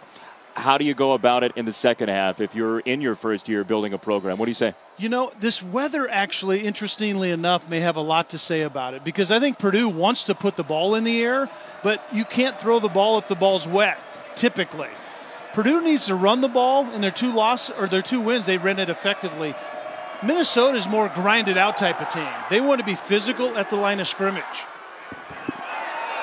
Once again, a touchback as we take a look at our Pacific Life game summary. And if you like turnovers, you came to the right place. This is the place for you, right?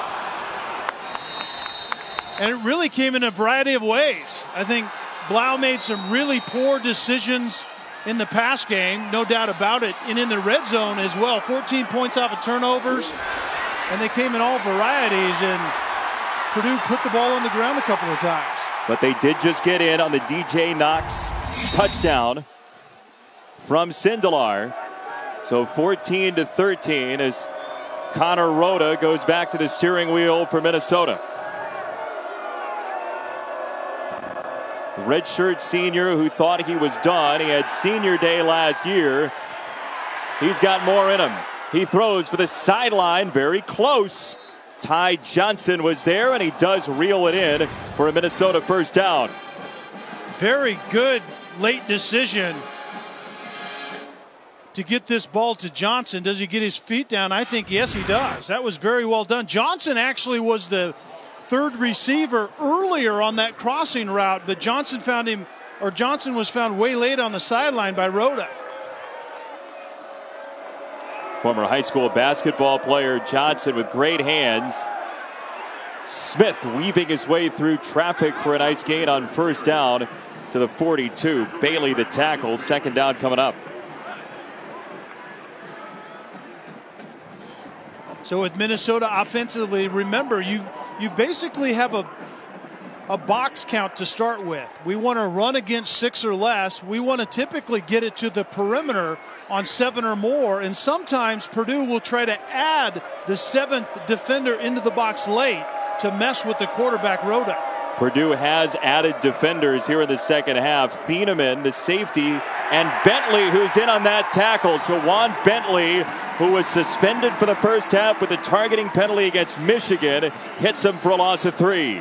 And Bentley is one of the most physical middle linebackers that you will see in the country 6'2, 260, and he's active. He's a ball hawk, and he's going to make up for the first half, at least try to here in this second half. This would have been his 30th career start. He'll have to wait for that. Third down, seven.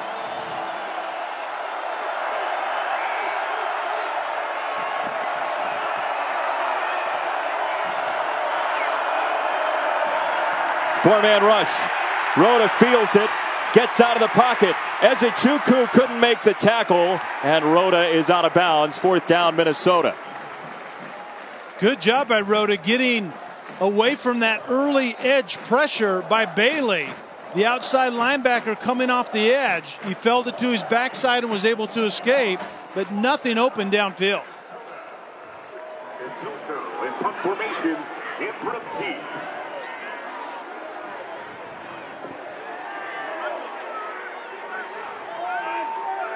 Ryan Santoso to punt to Anthrop, who made the odd decision to end the first half. This one fading back, and he's down at the 24. Purdue will have it there when we come back. A trip on the Boilermakers special after this.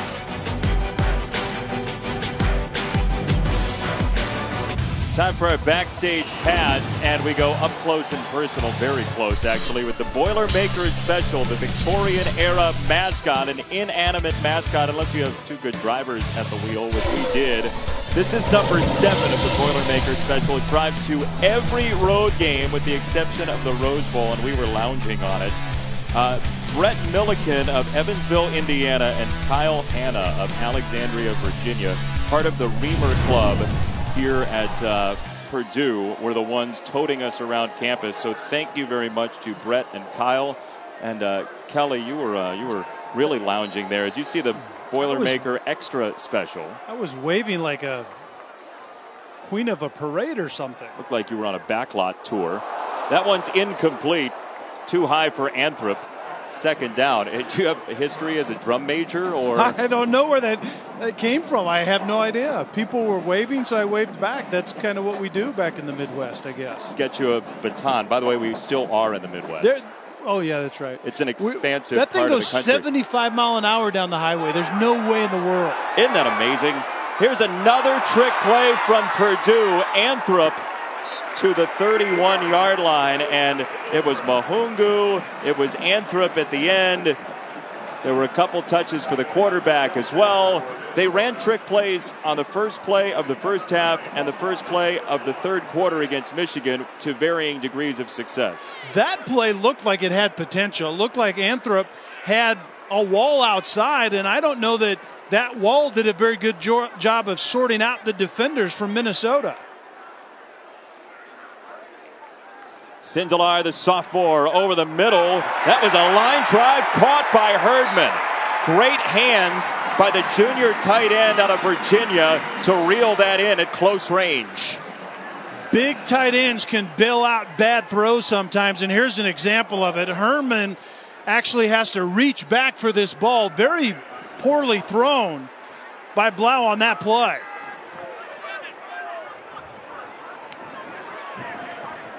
Flea flicker again. Sindelar loads it up down the field at the 35 yard line. Jared Sparks. What a catch for 24 to enliven the crowd. And I said Blough on that last play. Obviously, it was Sindelar, and that was a pretty decent throw. Defended outside, but the catch was absolutely stellar.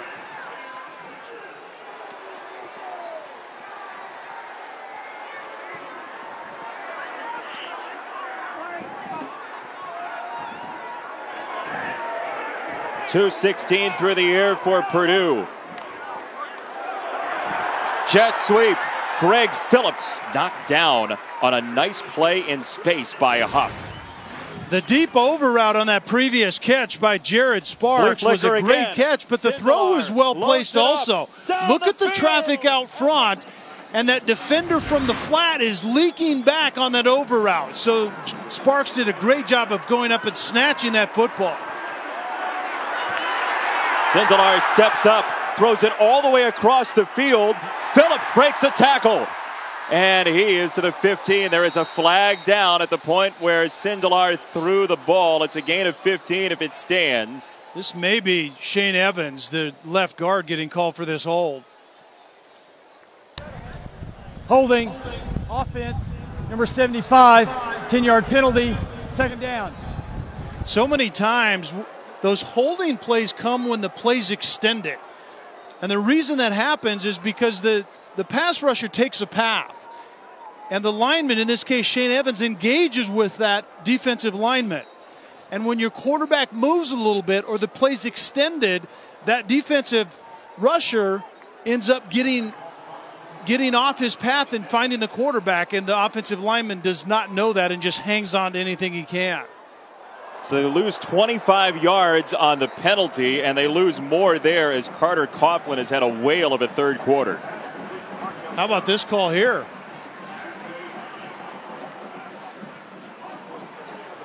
Third down and a long ways to go. Well, we know uh, Jeff Brohm is innovative. It's going to take something innovative right here.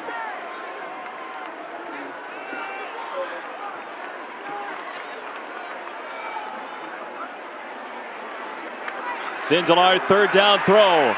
Pocket collapsed. He felt it. It's incomplete on the short hop as Steven Richardson came barreling in to make the hit on Sindelar. And Jason, I've seen this more than once. Sindelar's a bigger quarterback, 6'4, 230, relatively inexperienced. And when he has to make a sudden throw, that was like his fourth receiver, and you don't set your feet well. That's why the ball goes in the dirt, and that's what happened right there. Jeff Brohm is lighting up Elijah Sindelar on the sideline. Former quarterbacks don't like bad throws any more than the current quarterback does. Yeah, the standards are pretty high over Yeah. on the sideline for the quarterback position. Schopper to Shenault, and beautifully covered by Purdue. Malcolm Dotson got down there to shove it out of the end zone, and Sparks covered it. Wonderful special teams for the Boilermakers, one point game.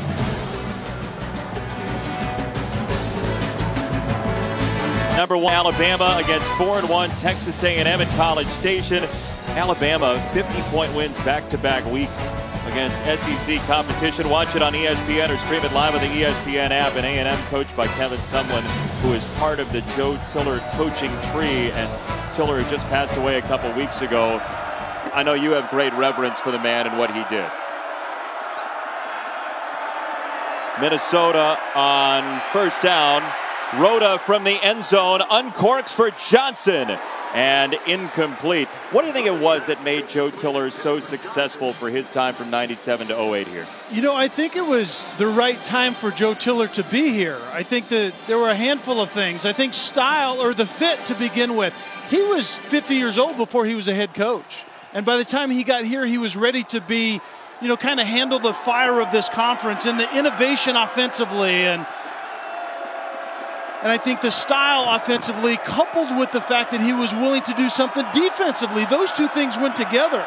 I think there are a handful of things that can be duplicated again by Jeff Brohm. Why reinvent the wheel? Joe Tiller made it happen here in a big way. He spread out the Big Ten, certainly. Coaches had to notice his third down's coming up after the carry by Smith. And we were talking to Tom Schott, the sports information director, a long time here at Purdue, and he said one of the great innovative things that Joe Tiller did was move guys around to the position they belonged at, like Matt Light, who was a tight end, turn him into a great offensive lineman. He was a slow tight end and might become a Hall of Fame offensive tackle. And that's the kind of stuff. He moved quarterbacks to linebacker, he moved quarterbacks to safety. That's really the recruiting template. You're not going to get all the five stars here. So you have to be innovative with that kind of thing. Had a great eye for personnel. On third and nine, Minnesota is staring down, punting into the wind. McCollum got to Smith, and here comes fourth down.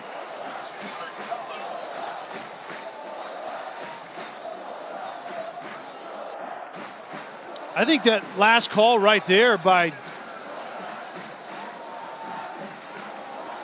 by Minnesota was a little interesting. I think it shows a couple of things. Not a great deal of confidence in throwing the football right now for Minnesota offensively.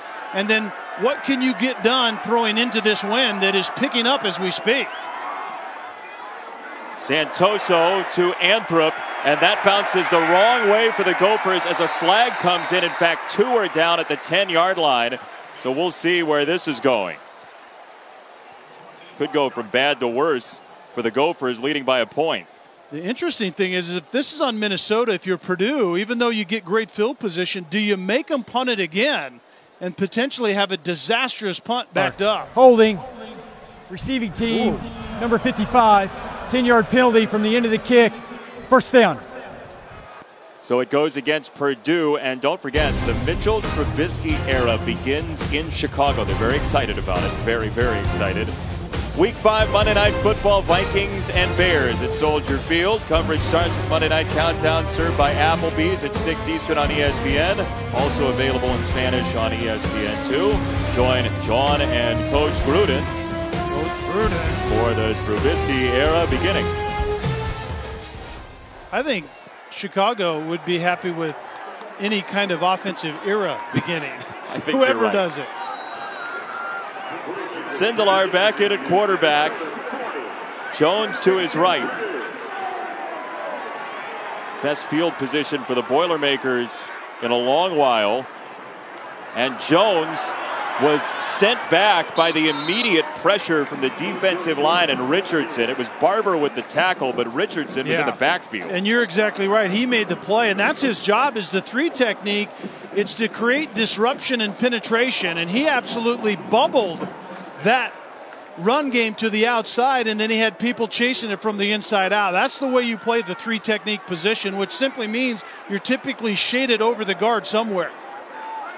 Here's a guy with three sacks the last couple years against Purdue. Richardson, as this is Jones, tripped up back at the 40 as we check in with Kris Budden. How's the weather? A little bit of the calm before the storm. About the northwest side, you start to see those dark clouds coming through.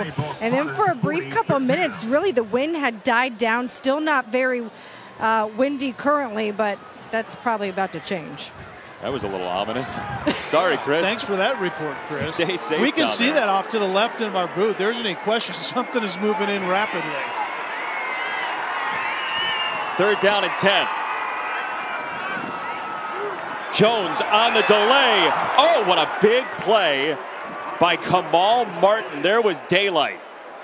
And that third down run call at third and 10 may be because you were going to try to go for it on fourth, but I think we're going to try this kicking adventure what again, once again. And Markel Jones had daylight there if he just picks up his feet. Purdue alternates kickers, Dellinger and Evans, kick by kick, but Evans has the longer leg, so he gets the call from 52 with the wind at his back. Whatever wind is left, as Kris said. For the lead for the Boilermakers, Evans. No good.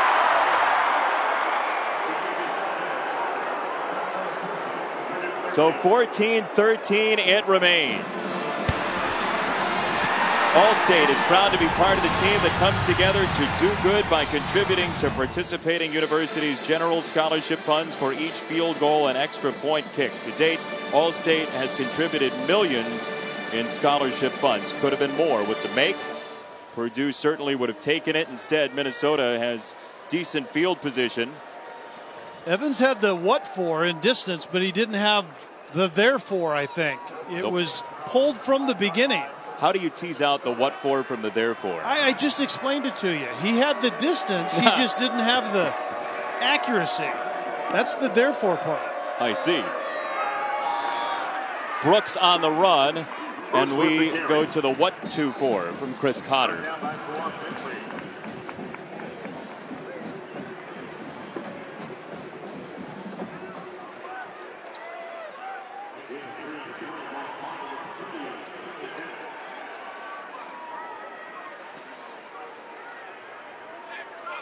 Chris knew what I was talking about. The what for, therefore. Uh huh. You can use that the next time we have a field goal situation happen, and I'll see if you can get it right. I don't steal other people's stuff. It's good stuff.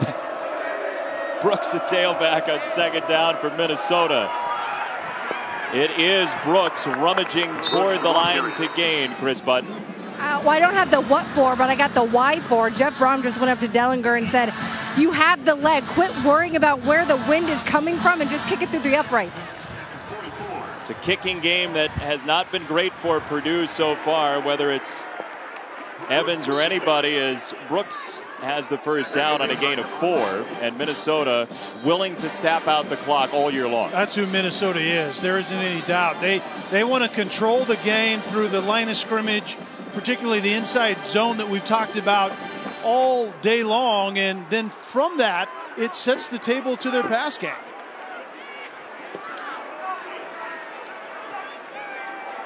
Will they run a play is the question.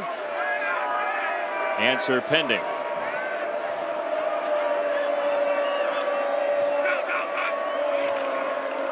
McCrary in a tailback, and he thunders up the middle for about a yard.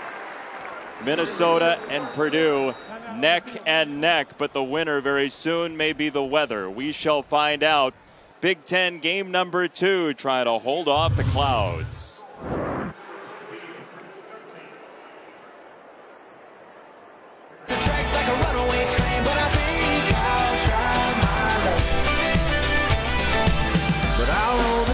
And play my hand, oh, I might lose it. Girl, I like the way you're more than I know what to do.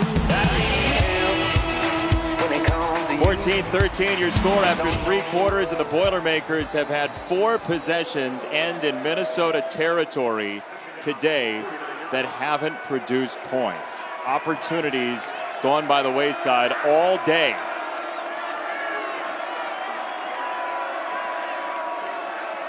Second down and nine for Smith and the offense. Rhoda's only thrown it 14 times, but has not made any mistakes, really. And that's the key because he's not going to throw it a lot in this offense. But when he does, it needs to be, first of all, good decisions, like you said, and he hasn't had the egregious mistake.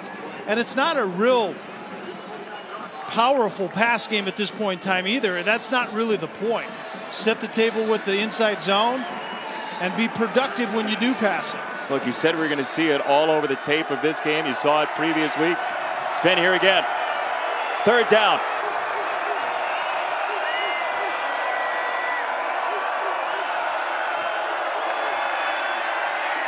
Rhoda, incomplete. Johnson intended, he misfired. Fourth down. And that was a three deep zone and just nowhere to throw it in. Marcus Bailey from his outside linebacker position did a great job of reacting back and getting underneath that route.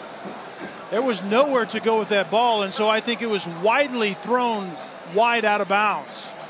How about Nick Holt, the defensive coordinator for Purdue, told us along with his defensive end, Danny Ezechukwu, that he likes to hold some stuff back for the second half, not as a counterpunch, but just to have something exotic for late in the game as this punt goes sailing toward the end zone and in. Huge game tonight in the Big Ten.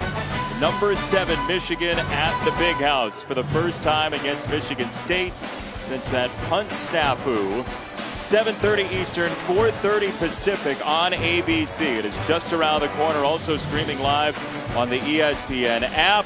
Jim Harbaugh doesn't like the visitors' locker room here very much, but he likes the start for his team so far. I guarantee he likes the locker room at the big house. Did you see his uh, jackknife off the high diving board today on game day? Oh, just glorious. He had his clothes on, which was a good thing, but it was actually a pretty decent effort on the jackknife. He can do everything. Some say. Sindelar, who's been in since the fourth drive, hits Phillips, who was decked by the freshman Thomas. What do you think of the Sindelar choice instead of Blough? I think Blough just was kind of having that that appearance that he was reverting back to last year when he led the nation in, in interceptions. There's the positive, but then those negatives start to show up, and there really isn't any upside anymore. DJ Knox, who had the most recent touchdown, has a first down this time. And remember what Kris said about the nerves down there that Brohm saw from Blough. Yeah, and that's not a good look. And the quarterback that's the head coach now, Jeff Brohm, knows that look in the eye of a quarterback that he has on his team. And that's what I saw. He was forcing balls that you haven't seen him force on tape coming into this game. Sindelar finds himself some time and nearly had it picked off. Allende would have had his second interception of the game. I think Purdue is moving the pocket once again and getting Sindelar outside to the right. And we talked about that throw off the platform when his feet aren't set, and this ball just drifted on him into the wind. And that easily could have been picked off, but wasn't finished defensively by Minnesota. How do you change that? The feet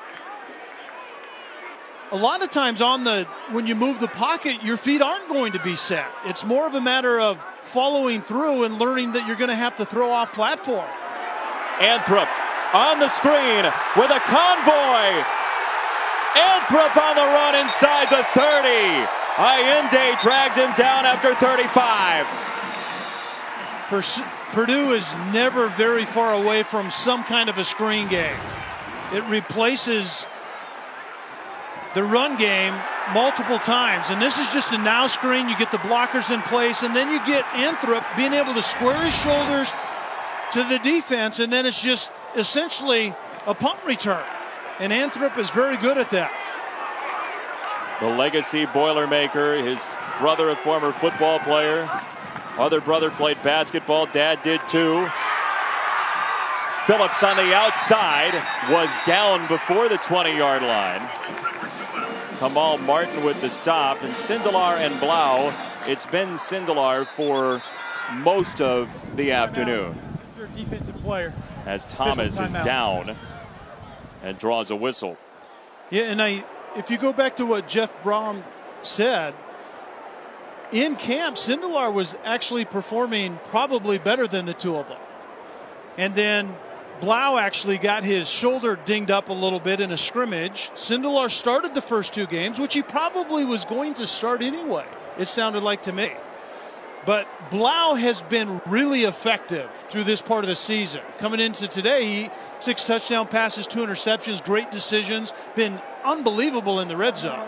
So you don't like to look in that first half. We'll step aside with the injury to Thomas, one point game.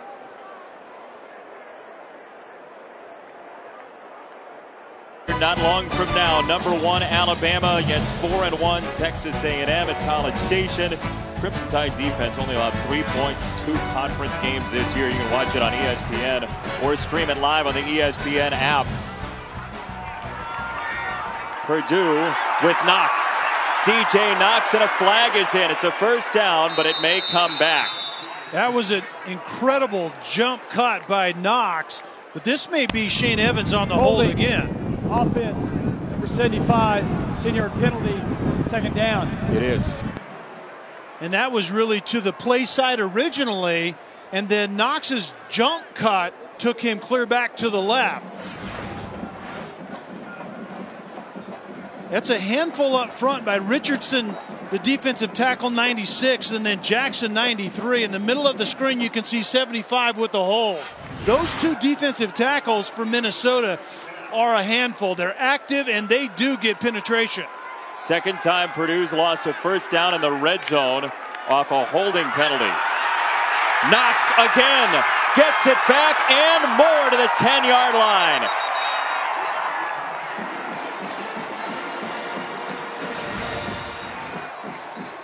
In the first half, the run game for Purdue was pretty much non existent. Knox has actually added a little bit of juice in the second half to that run game, and Gregory Phillips doing a great job blocking downfield the wide receiver. 25 yards that time for Knox. First and goal.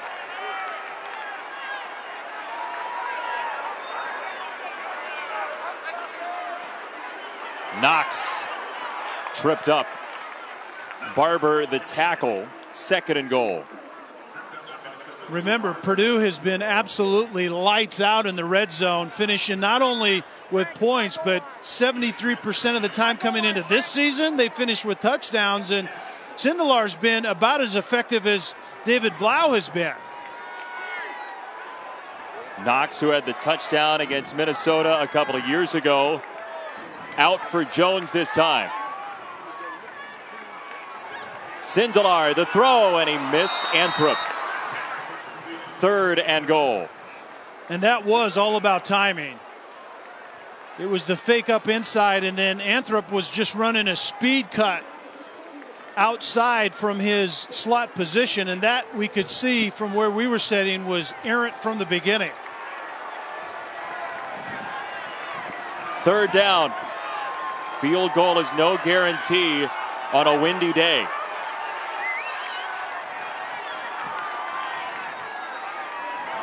Jones outside, stopped. Shenault and Richardson, fourth and goal.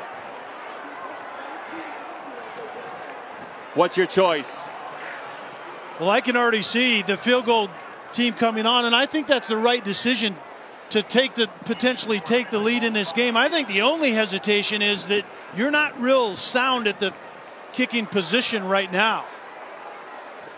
It's Dellinger who gets the call from 19. Schopper holds for the lead.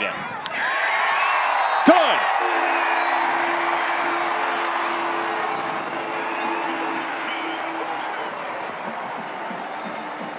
That was a confident kick by J.D. Dellinger. Spencer missed earlier on the really long one and pulled it left.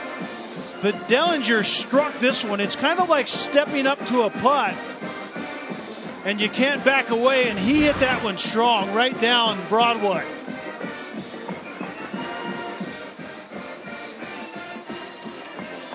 For the Purdue Boilermakers, who had the lead over Michigan at halftime two weeks ago, they take the lead, but those clouds are very ominous. And with lightning on its way, Time we'll out see on how the long field. this continues. We are in a weather delay.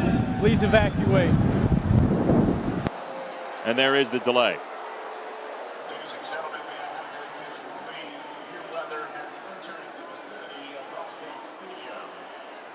So with lightning close enough to the stadium to pause the game at 9:58 in the fourth quarter, that's where we are. With every strike of lightning within an eight mile radius, there is another 30 minute delay. So that is the clock we are on at this moment. We'll update you when we have more on the weather. For now, Chris Cotter will take it away. Purdue 16 to 14 in a weather delay. Chris? For an hour and a half rain delay, we are just about ready to go for football again as Purdue has taken the lead just recently with a field goal over Minnesota 16 to 14. Jason Benetti, Kelly Stouffer, Kris Budden down on the sideline. And here's how we got here. It's been a turnover fest for Purdue.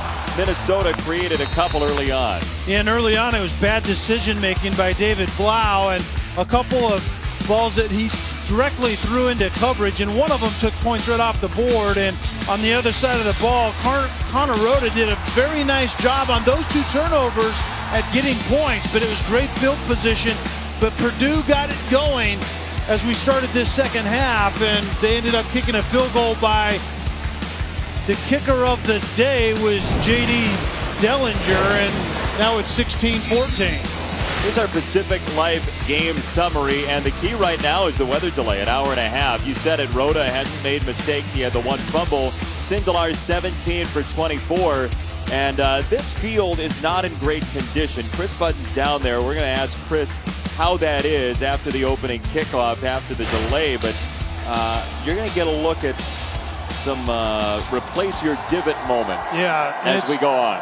On the natural grass and the up until the delay, the weather problem was the wind. It was 20 to 30 strong coming out of the south, and now it's going to be about footing.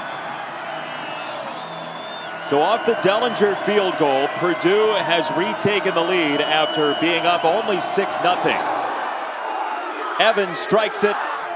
Brooks is back. From the goal line.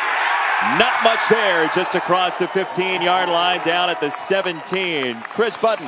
Yeah, Jason, as you said, this is natural grass, and I walked around and there are some significant divots, especially in the middle of the field. I talked to both coaches. Jeff Brohm telling me this does affect their play calling a lot. They'll have to run the ball, some short passes, some sideline stuff. But he said, you know what, we haven't been able to throw the deep ball anyways, so that's not really a concern.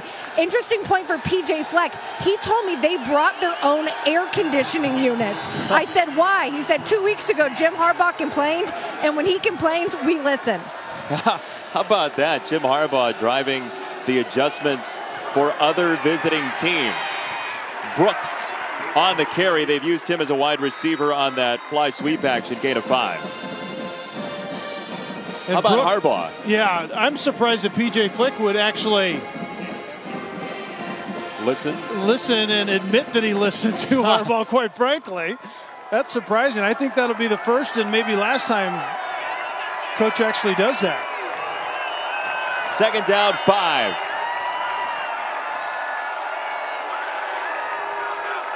Conor Rhoda to Smith on the handoff.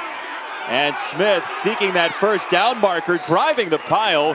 He does have the first down as Thieneman made the stop, but this heavy running team goes right back there with the junior Rodney Smith. And even carries. 13 carries apiece, and they both carried it once. And after this delay, and that's the core, remember, of what Minnesota wants to do. They don't necessarily have the horses up front to do it consistently well, but they need to get something out of that inside zone running game. Minnesota off the loss to Maryland last weekend. Its first loss of the year. Rhoda play action. Long ball. And this is almost intercepted by Thieneman. There is a flag down. He well overshot Ty Johnson. There might be a holding penalty as Johnson came out of his break. Holding defense, number 27, 10 yard penalty automatic first down. It's on the other safety, Mosley. And when Johnson came out of his break, I think Mosley grabbed him. I think Mosley might have been losing his footing a little bit. Johnson was running a quarter route, didn't get out of his break very well because he was being held by a defender.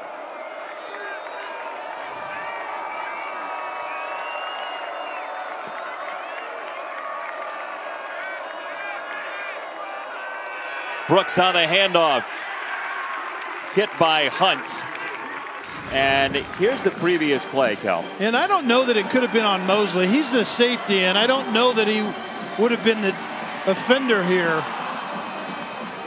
Okonye, I think, was the was the one that grabbed Johnson out of the break. Yeah, the Wake Forest transfer, it looked like. Anyway, it is a first down, then the two yard run, second and eight.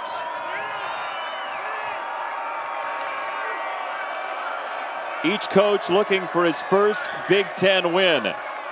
Brohm and Fleck. Rhoda on the roll. Incomplete for Wozniak at 6'10. It's third down coming up. Well defended by Purdue. It was the boot off of that fly sweep action that we've seen Minnesota run to try to get to the edge. And Rhoda boots outside, and typically you have three routes coming from the opposite side of the field one in the flat short, and a kind of an intermediate route going out, and then a deep route. And all of them were very well covered by Purdue. Third down and eight. Rhoda just 18 yards, but the two scores on third down. They boot him again as Ezechukwu and Miles see him run by, and Rhoda stretches out. They're going to have him just short. He's going to be about a quarter of a yard short of the marker with the knee down as he got belted by Neal. You got to go, right? Yeah, you do. I think Minnesota has to get something done. They have some rhythm on this drive, and they've actually been establishing things on the line of scrimmage quite well early in this one. Purdue's a little disorganized.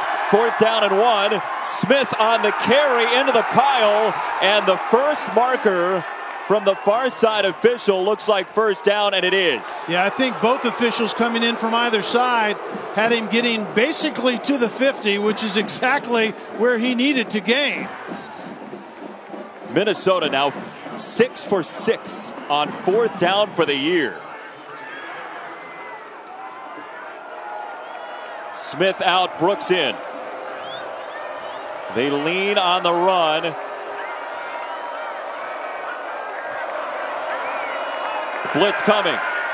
Rhoda backpedaling incomplete. Closest guy was Marcus Bailey, the linebacker. And this crowd, which actually was evacuated from the stadium because of weather, is getting fairly loud again. Yeah, they're getting into it. And I, I think they would like their quarterback Rhoda to set his feet a little better. He has a bad habit of drifting backwards on his throws, and he comes up short, and that's typically the reason why. There was a receiver open, and Rhoda is drifting backwards and just throws it into this wet grass. Second down. Brooks finds another seam. And he's going to set up third down and four. Thieneman and Bailey collaborated on the tackle. What's your call here, Kelly Stouffer? More of the same. I think I, I like the way the line of scrimmage is working, both in pass protection and in the run game. Rhoda has looked good out on the edge in the pass game, whether he throws it or whether he keeps it.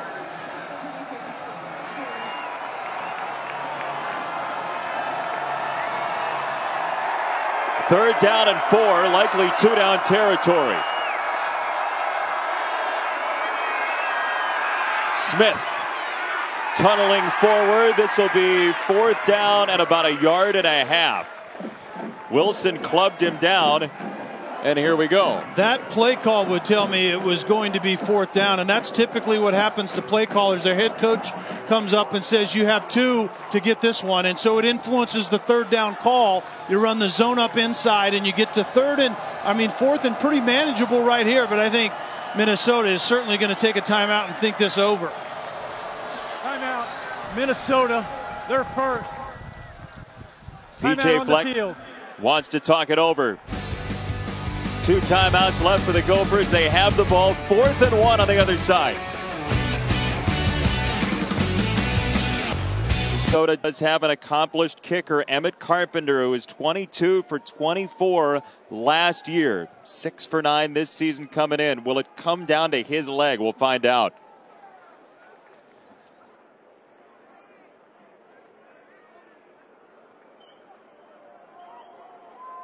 Coverage is streaming live on the ESPN app. Download now and take ESPN everywhere. Third down, Minnesota. Emmett Carpenter, their kicker, his career long is 53 yards away. So it's up to Rhoda and the offense to try to grab at least a couple more yards. It's 54 and a half or so from here. Minnesota on third down. Brooks got a block from Lingen on the outside, and Brooks leans forward to the marker.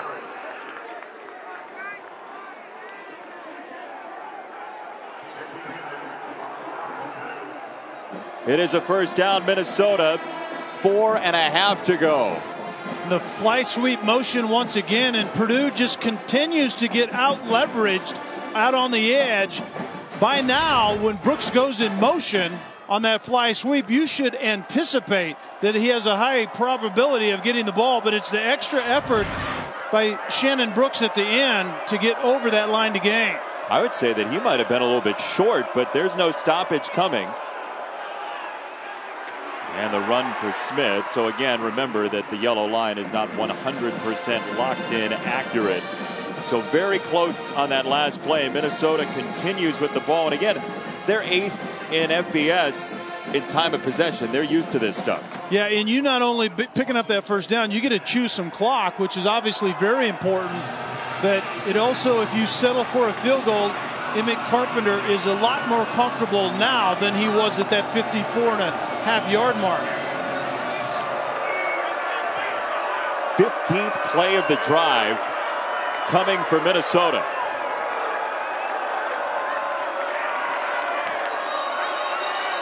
And a whistle and a timeout. PJ Fleck was hustling down the sideline trying to get a timeout. He had the boat running full steam he ahead. 4 340 on that one.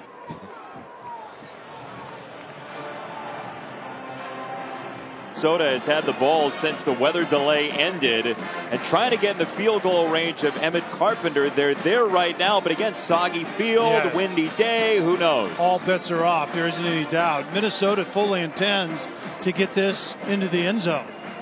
And maybe never let Purdue see the ball. Yeah, the best of both worlds would be to burn clock and get a touchdown. Smith on the delay. Third down and manageable from the 21 coming up. When do you start to use those timeouts if you're Purdue? I think about any time. You're approaching three minutes. So probably after this play, for sure, if Minnesota picks up a first down, it's a no-brainer to start burning them. You have no choice. Third down and four.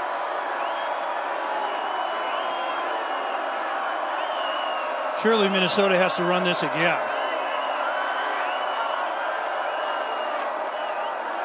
They do. Smith turned away. I think Jeff Brohm is going to choose to use one now. Fourth down, you don't want those precious seconds to burn off the Time clock out. before this We're field goal good. attempt. I think that's a really good use of Third it, his first time out. Although- Timeout. The counter argument is if Minnesota misses this field goal, you'd really like to have the time run off the clock that you just saved. But you don't know. Yeah, you don't know. I think you're playing kind of the percentages, looking at the probability of this ball going through, and so you you play kind of almost worst case scenario.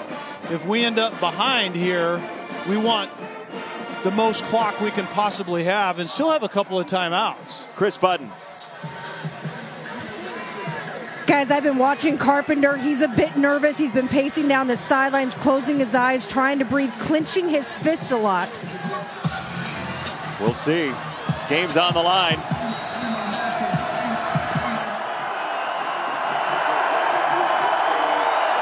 Green Bay's finest, Emmett Carpenter from 38.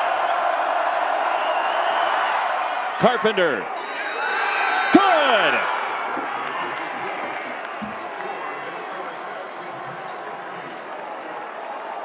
Remember, Purdue earlier had a missed extra point. point. Yeah, great point. This was true. This was right down the middle, struck very confidently by Emmett Carpenter.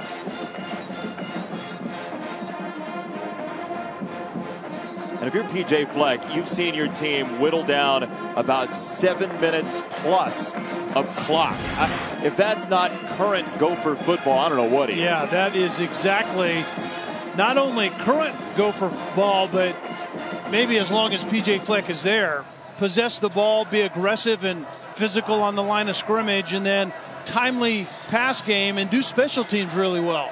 Emmett Carpenter was that guy on this drive. He made from 52 and 53 against Purdue last year. This one from 38 to cap a seven and a half minute drive.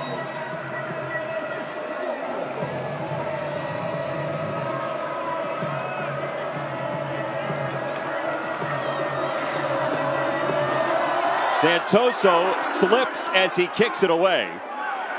Knocks from the one. He had a touchdown earlier. Knox along the sideline. He's across the 40. Santoso had to get up and knock him down.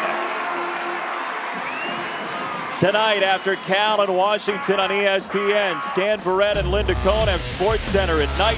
All the highlights from college football, the NLDS, Cubs and Nationals, NFL news, and much more. Sports Center at night, also live on the ESPN app. So it's up to the sophomore out of the state of Kentucky, Elijah Sindelar, who didn't start the game, but he's had the controls of the offense since drive number four. Markell Jones gets the carry. Two timeouts left for Purdue. And remember, Purdue moves with a purpose most of the time anyway. They're they're not a mock seven type of offense, but they certainly get after it in terms of getting to the line of scrimmage and go again.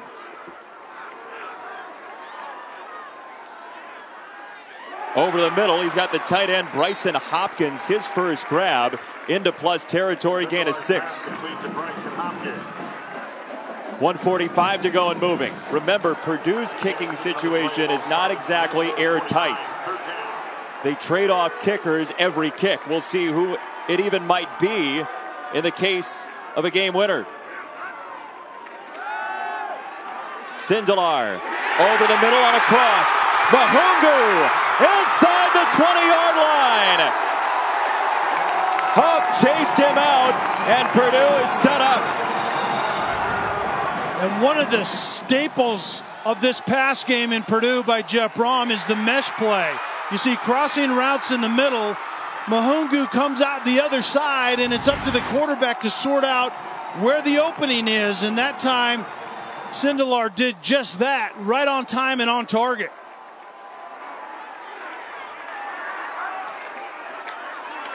Jones on the run, cuts inside, touchdown Purdue!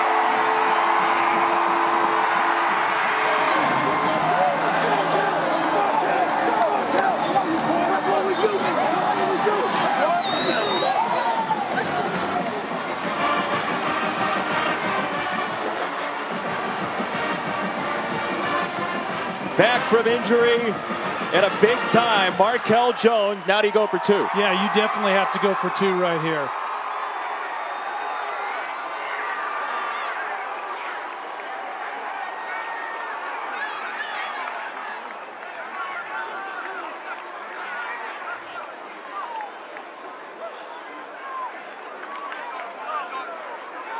They will go for two after a drive that lasted 109.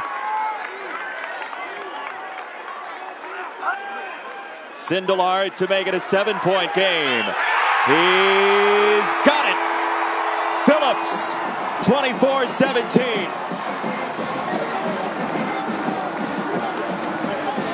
Trips to the right and essentially a rub route. The inside receivers or the outside receivers give room for the inside receiver to essentially rub off of their routes.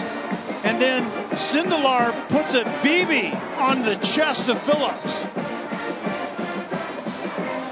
You told us earlier the mesh route is the absolute core play, anchor play for Purdue in the past game, and they just used it in a big way. Yeah, Mahoungou was the one. They're crossing routes, and he's going to come from the left to the right, and he's basically going to get a pick route or a rub by the opposite crosser.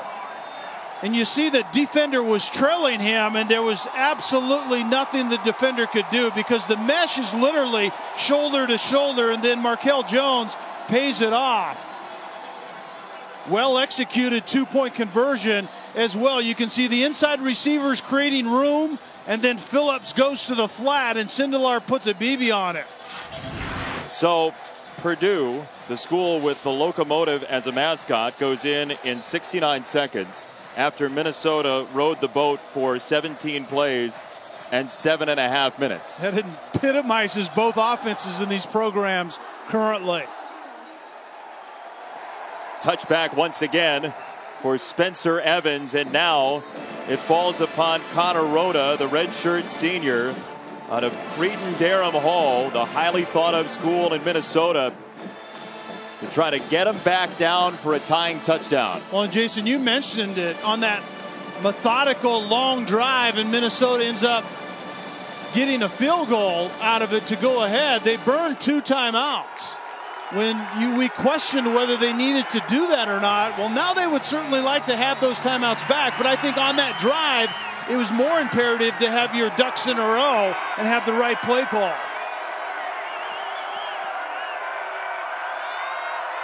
Rhoda's only completed eight passes today. Rolling out, he has a completion to Lingen. Out of bounds across the 30. Stops the clock, 110 to go. And Rhoda is much better on the move as far as I can tell. I would launch the pocket one direction or the other, cut the field in half, and see if you can get a big body tight end hooking up to gain some more yardage.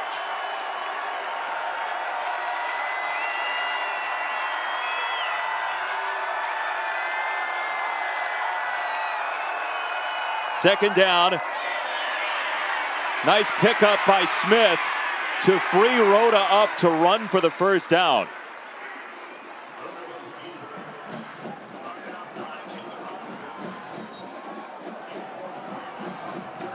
Clock moving with the ball spotted. Under a minute. As Ezechukwu got dragged down, Rhoda unloads it out of bounds. Carter was closest. Miles had some pressure. 49 seconds to go. A lot of time off there. Yeah, that was about 14 seconds of an unproductive pass route. The quick pressure forced the quarterback Rhoda out, but it was well covered on the back end by Purdue.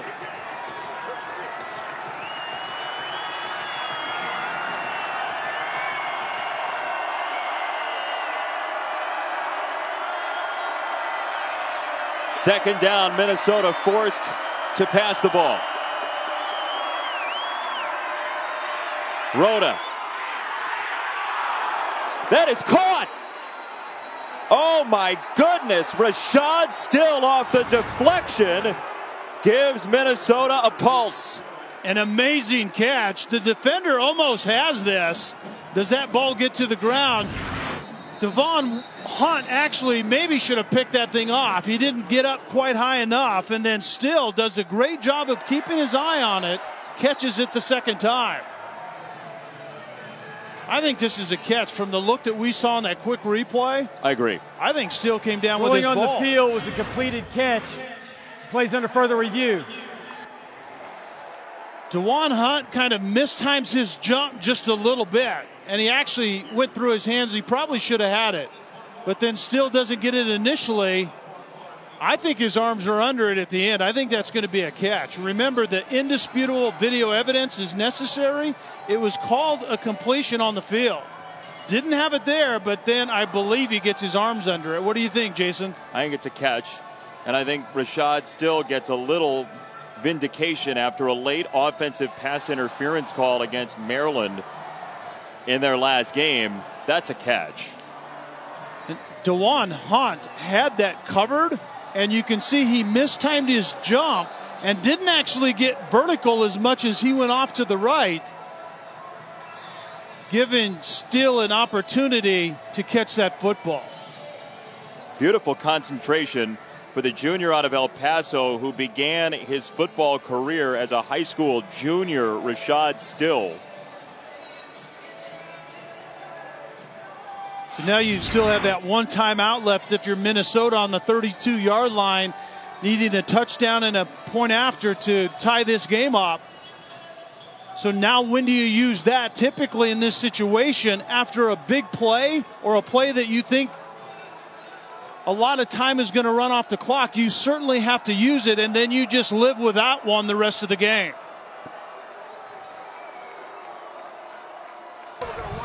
After review, the ruling on the field is confirmed. Completed catch, first down. Not even stands confirmed as a catch, so he did bring it in. That was a 32 yard grab.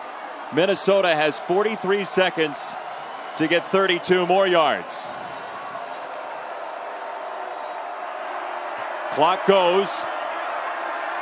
Rhoda. Pressure comes and incomplete. Ty Johnson had some green grass in front of him. Second down, 36 seconds. Purdue electing to try to get pressure with four, cover with seven, and they Purdue has been fairly successful at getting pressure on Rhoda, at least making him move his feet a little bit. You would wonder once again if Rhoda's best chance to throw the ball down the field is by changing the launch point, getting him outside the pocket. You cannot afford a sack right here. Second down. Ezechukwu coming. He almost got there. This is a jump ball. Incomplete. Smiley, the redshirt freshman, was closest for Purdue. Third down. And Mark Williams, the re- intended receiver, does a great job of turning into a defensive back and swatting that ball away at the end. Rhoda was not outside the pocket. That ball needed to go to an intended receiver or go out of bounds, and he didn't quite get it out of bounds.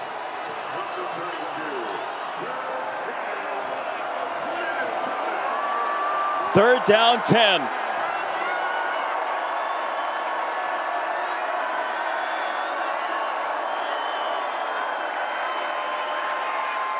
Smith on the dump down, and he's out of bounds. So now the chains are the enemy. It's fourth down, Minnesota. 23 seconds to go. What's your play call here? Yeah, the chains are the enemy. The clock at this point in time doesn't matter because you can call a timeout, but I still like the fact that Rhoda is best on the move. I probably move him into the trips, and they have to get to the 22 yard line. Run pass option out to the triple side where the receivers are at the top of the screen. Rhoda, game on the line. Intercepted Bentley!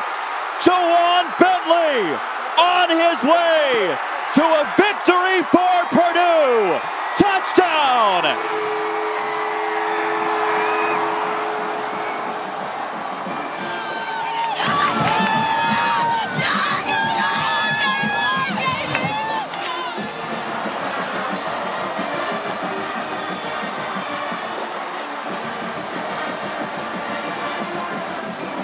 He missed the first half.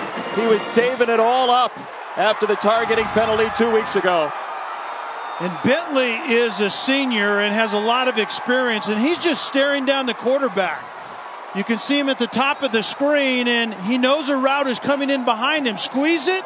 If you're the quarterback's eyes take you there, and the veteran Bentley does that, and then more importantly, he finishes the play, gets the ball in his hands, and then gets into the end zone.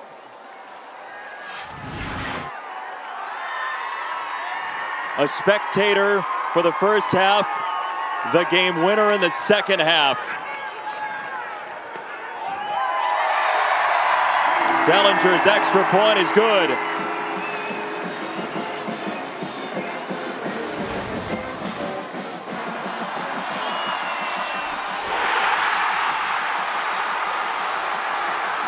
Bentley did a great job of reading the route and reading the quarterback's eyes kind of in unison. He catches the route out of it, the corner of his eyes after the, the head and eyes of the quarterback took him to that side to begin with, and the veteran knew what that meant, and he made the most of it. For a guy whose coaches say he's the gregarious one, he has great people skills, team leader type, and Jeff Brohm was very honest with us. He said, coming in, I had heard maybe up down about Bentley sometimes, maybe when things get tough. He said he has been just an outstanding citizen, a great player for our team. And in Purdue's first game after the passing of Joe Tiller, it's the defense that puts it away. The offense did enough. It's a good point. And for Coach Tiller, it's a 14 point lead for the Boilermakers late.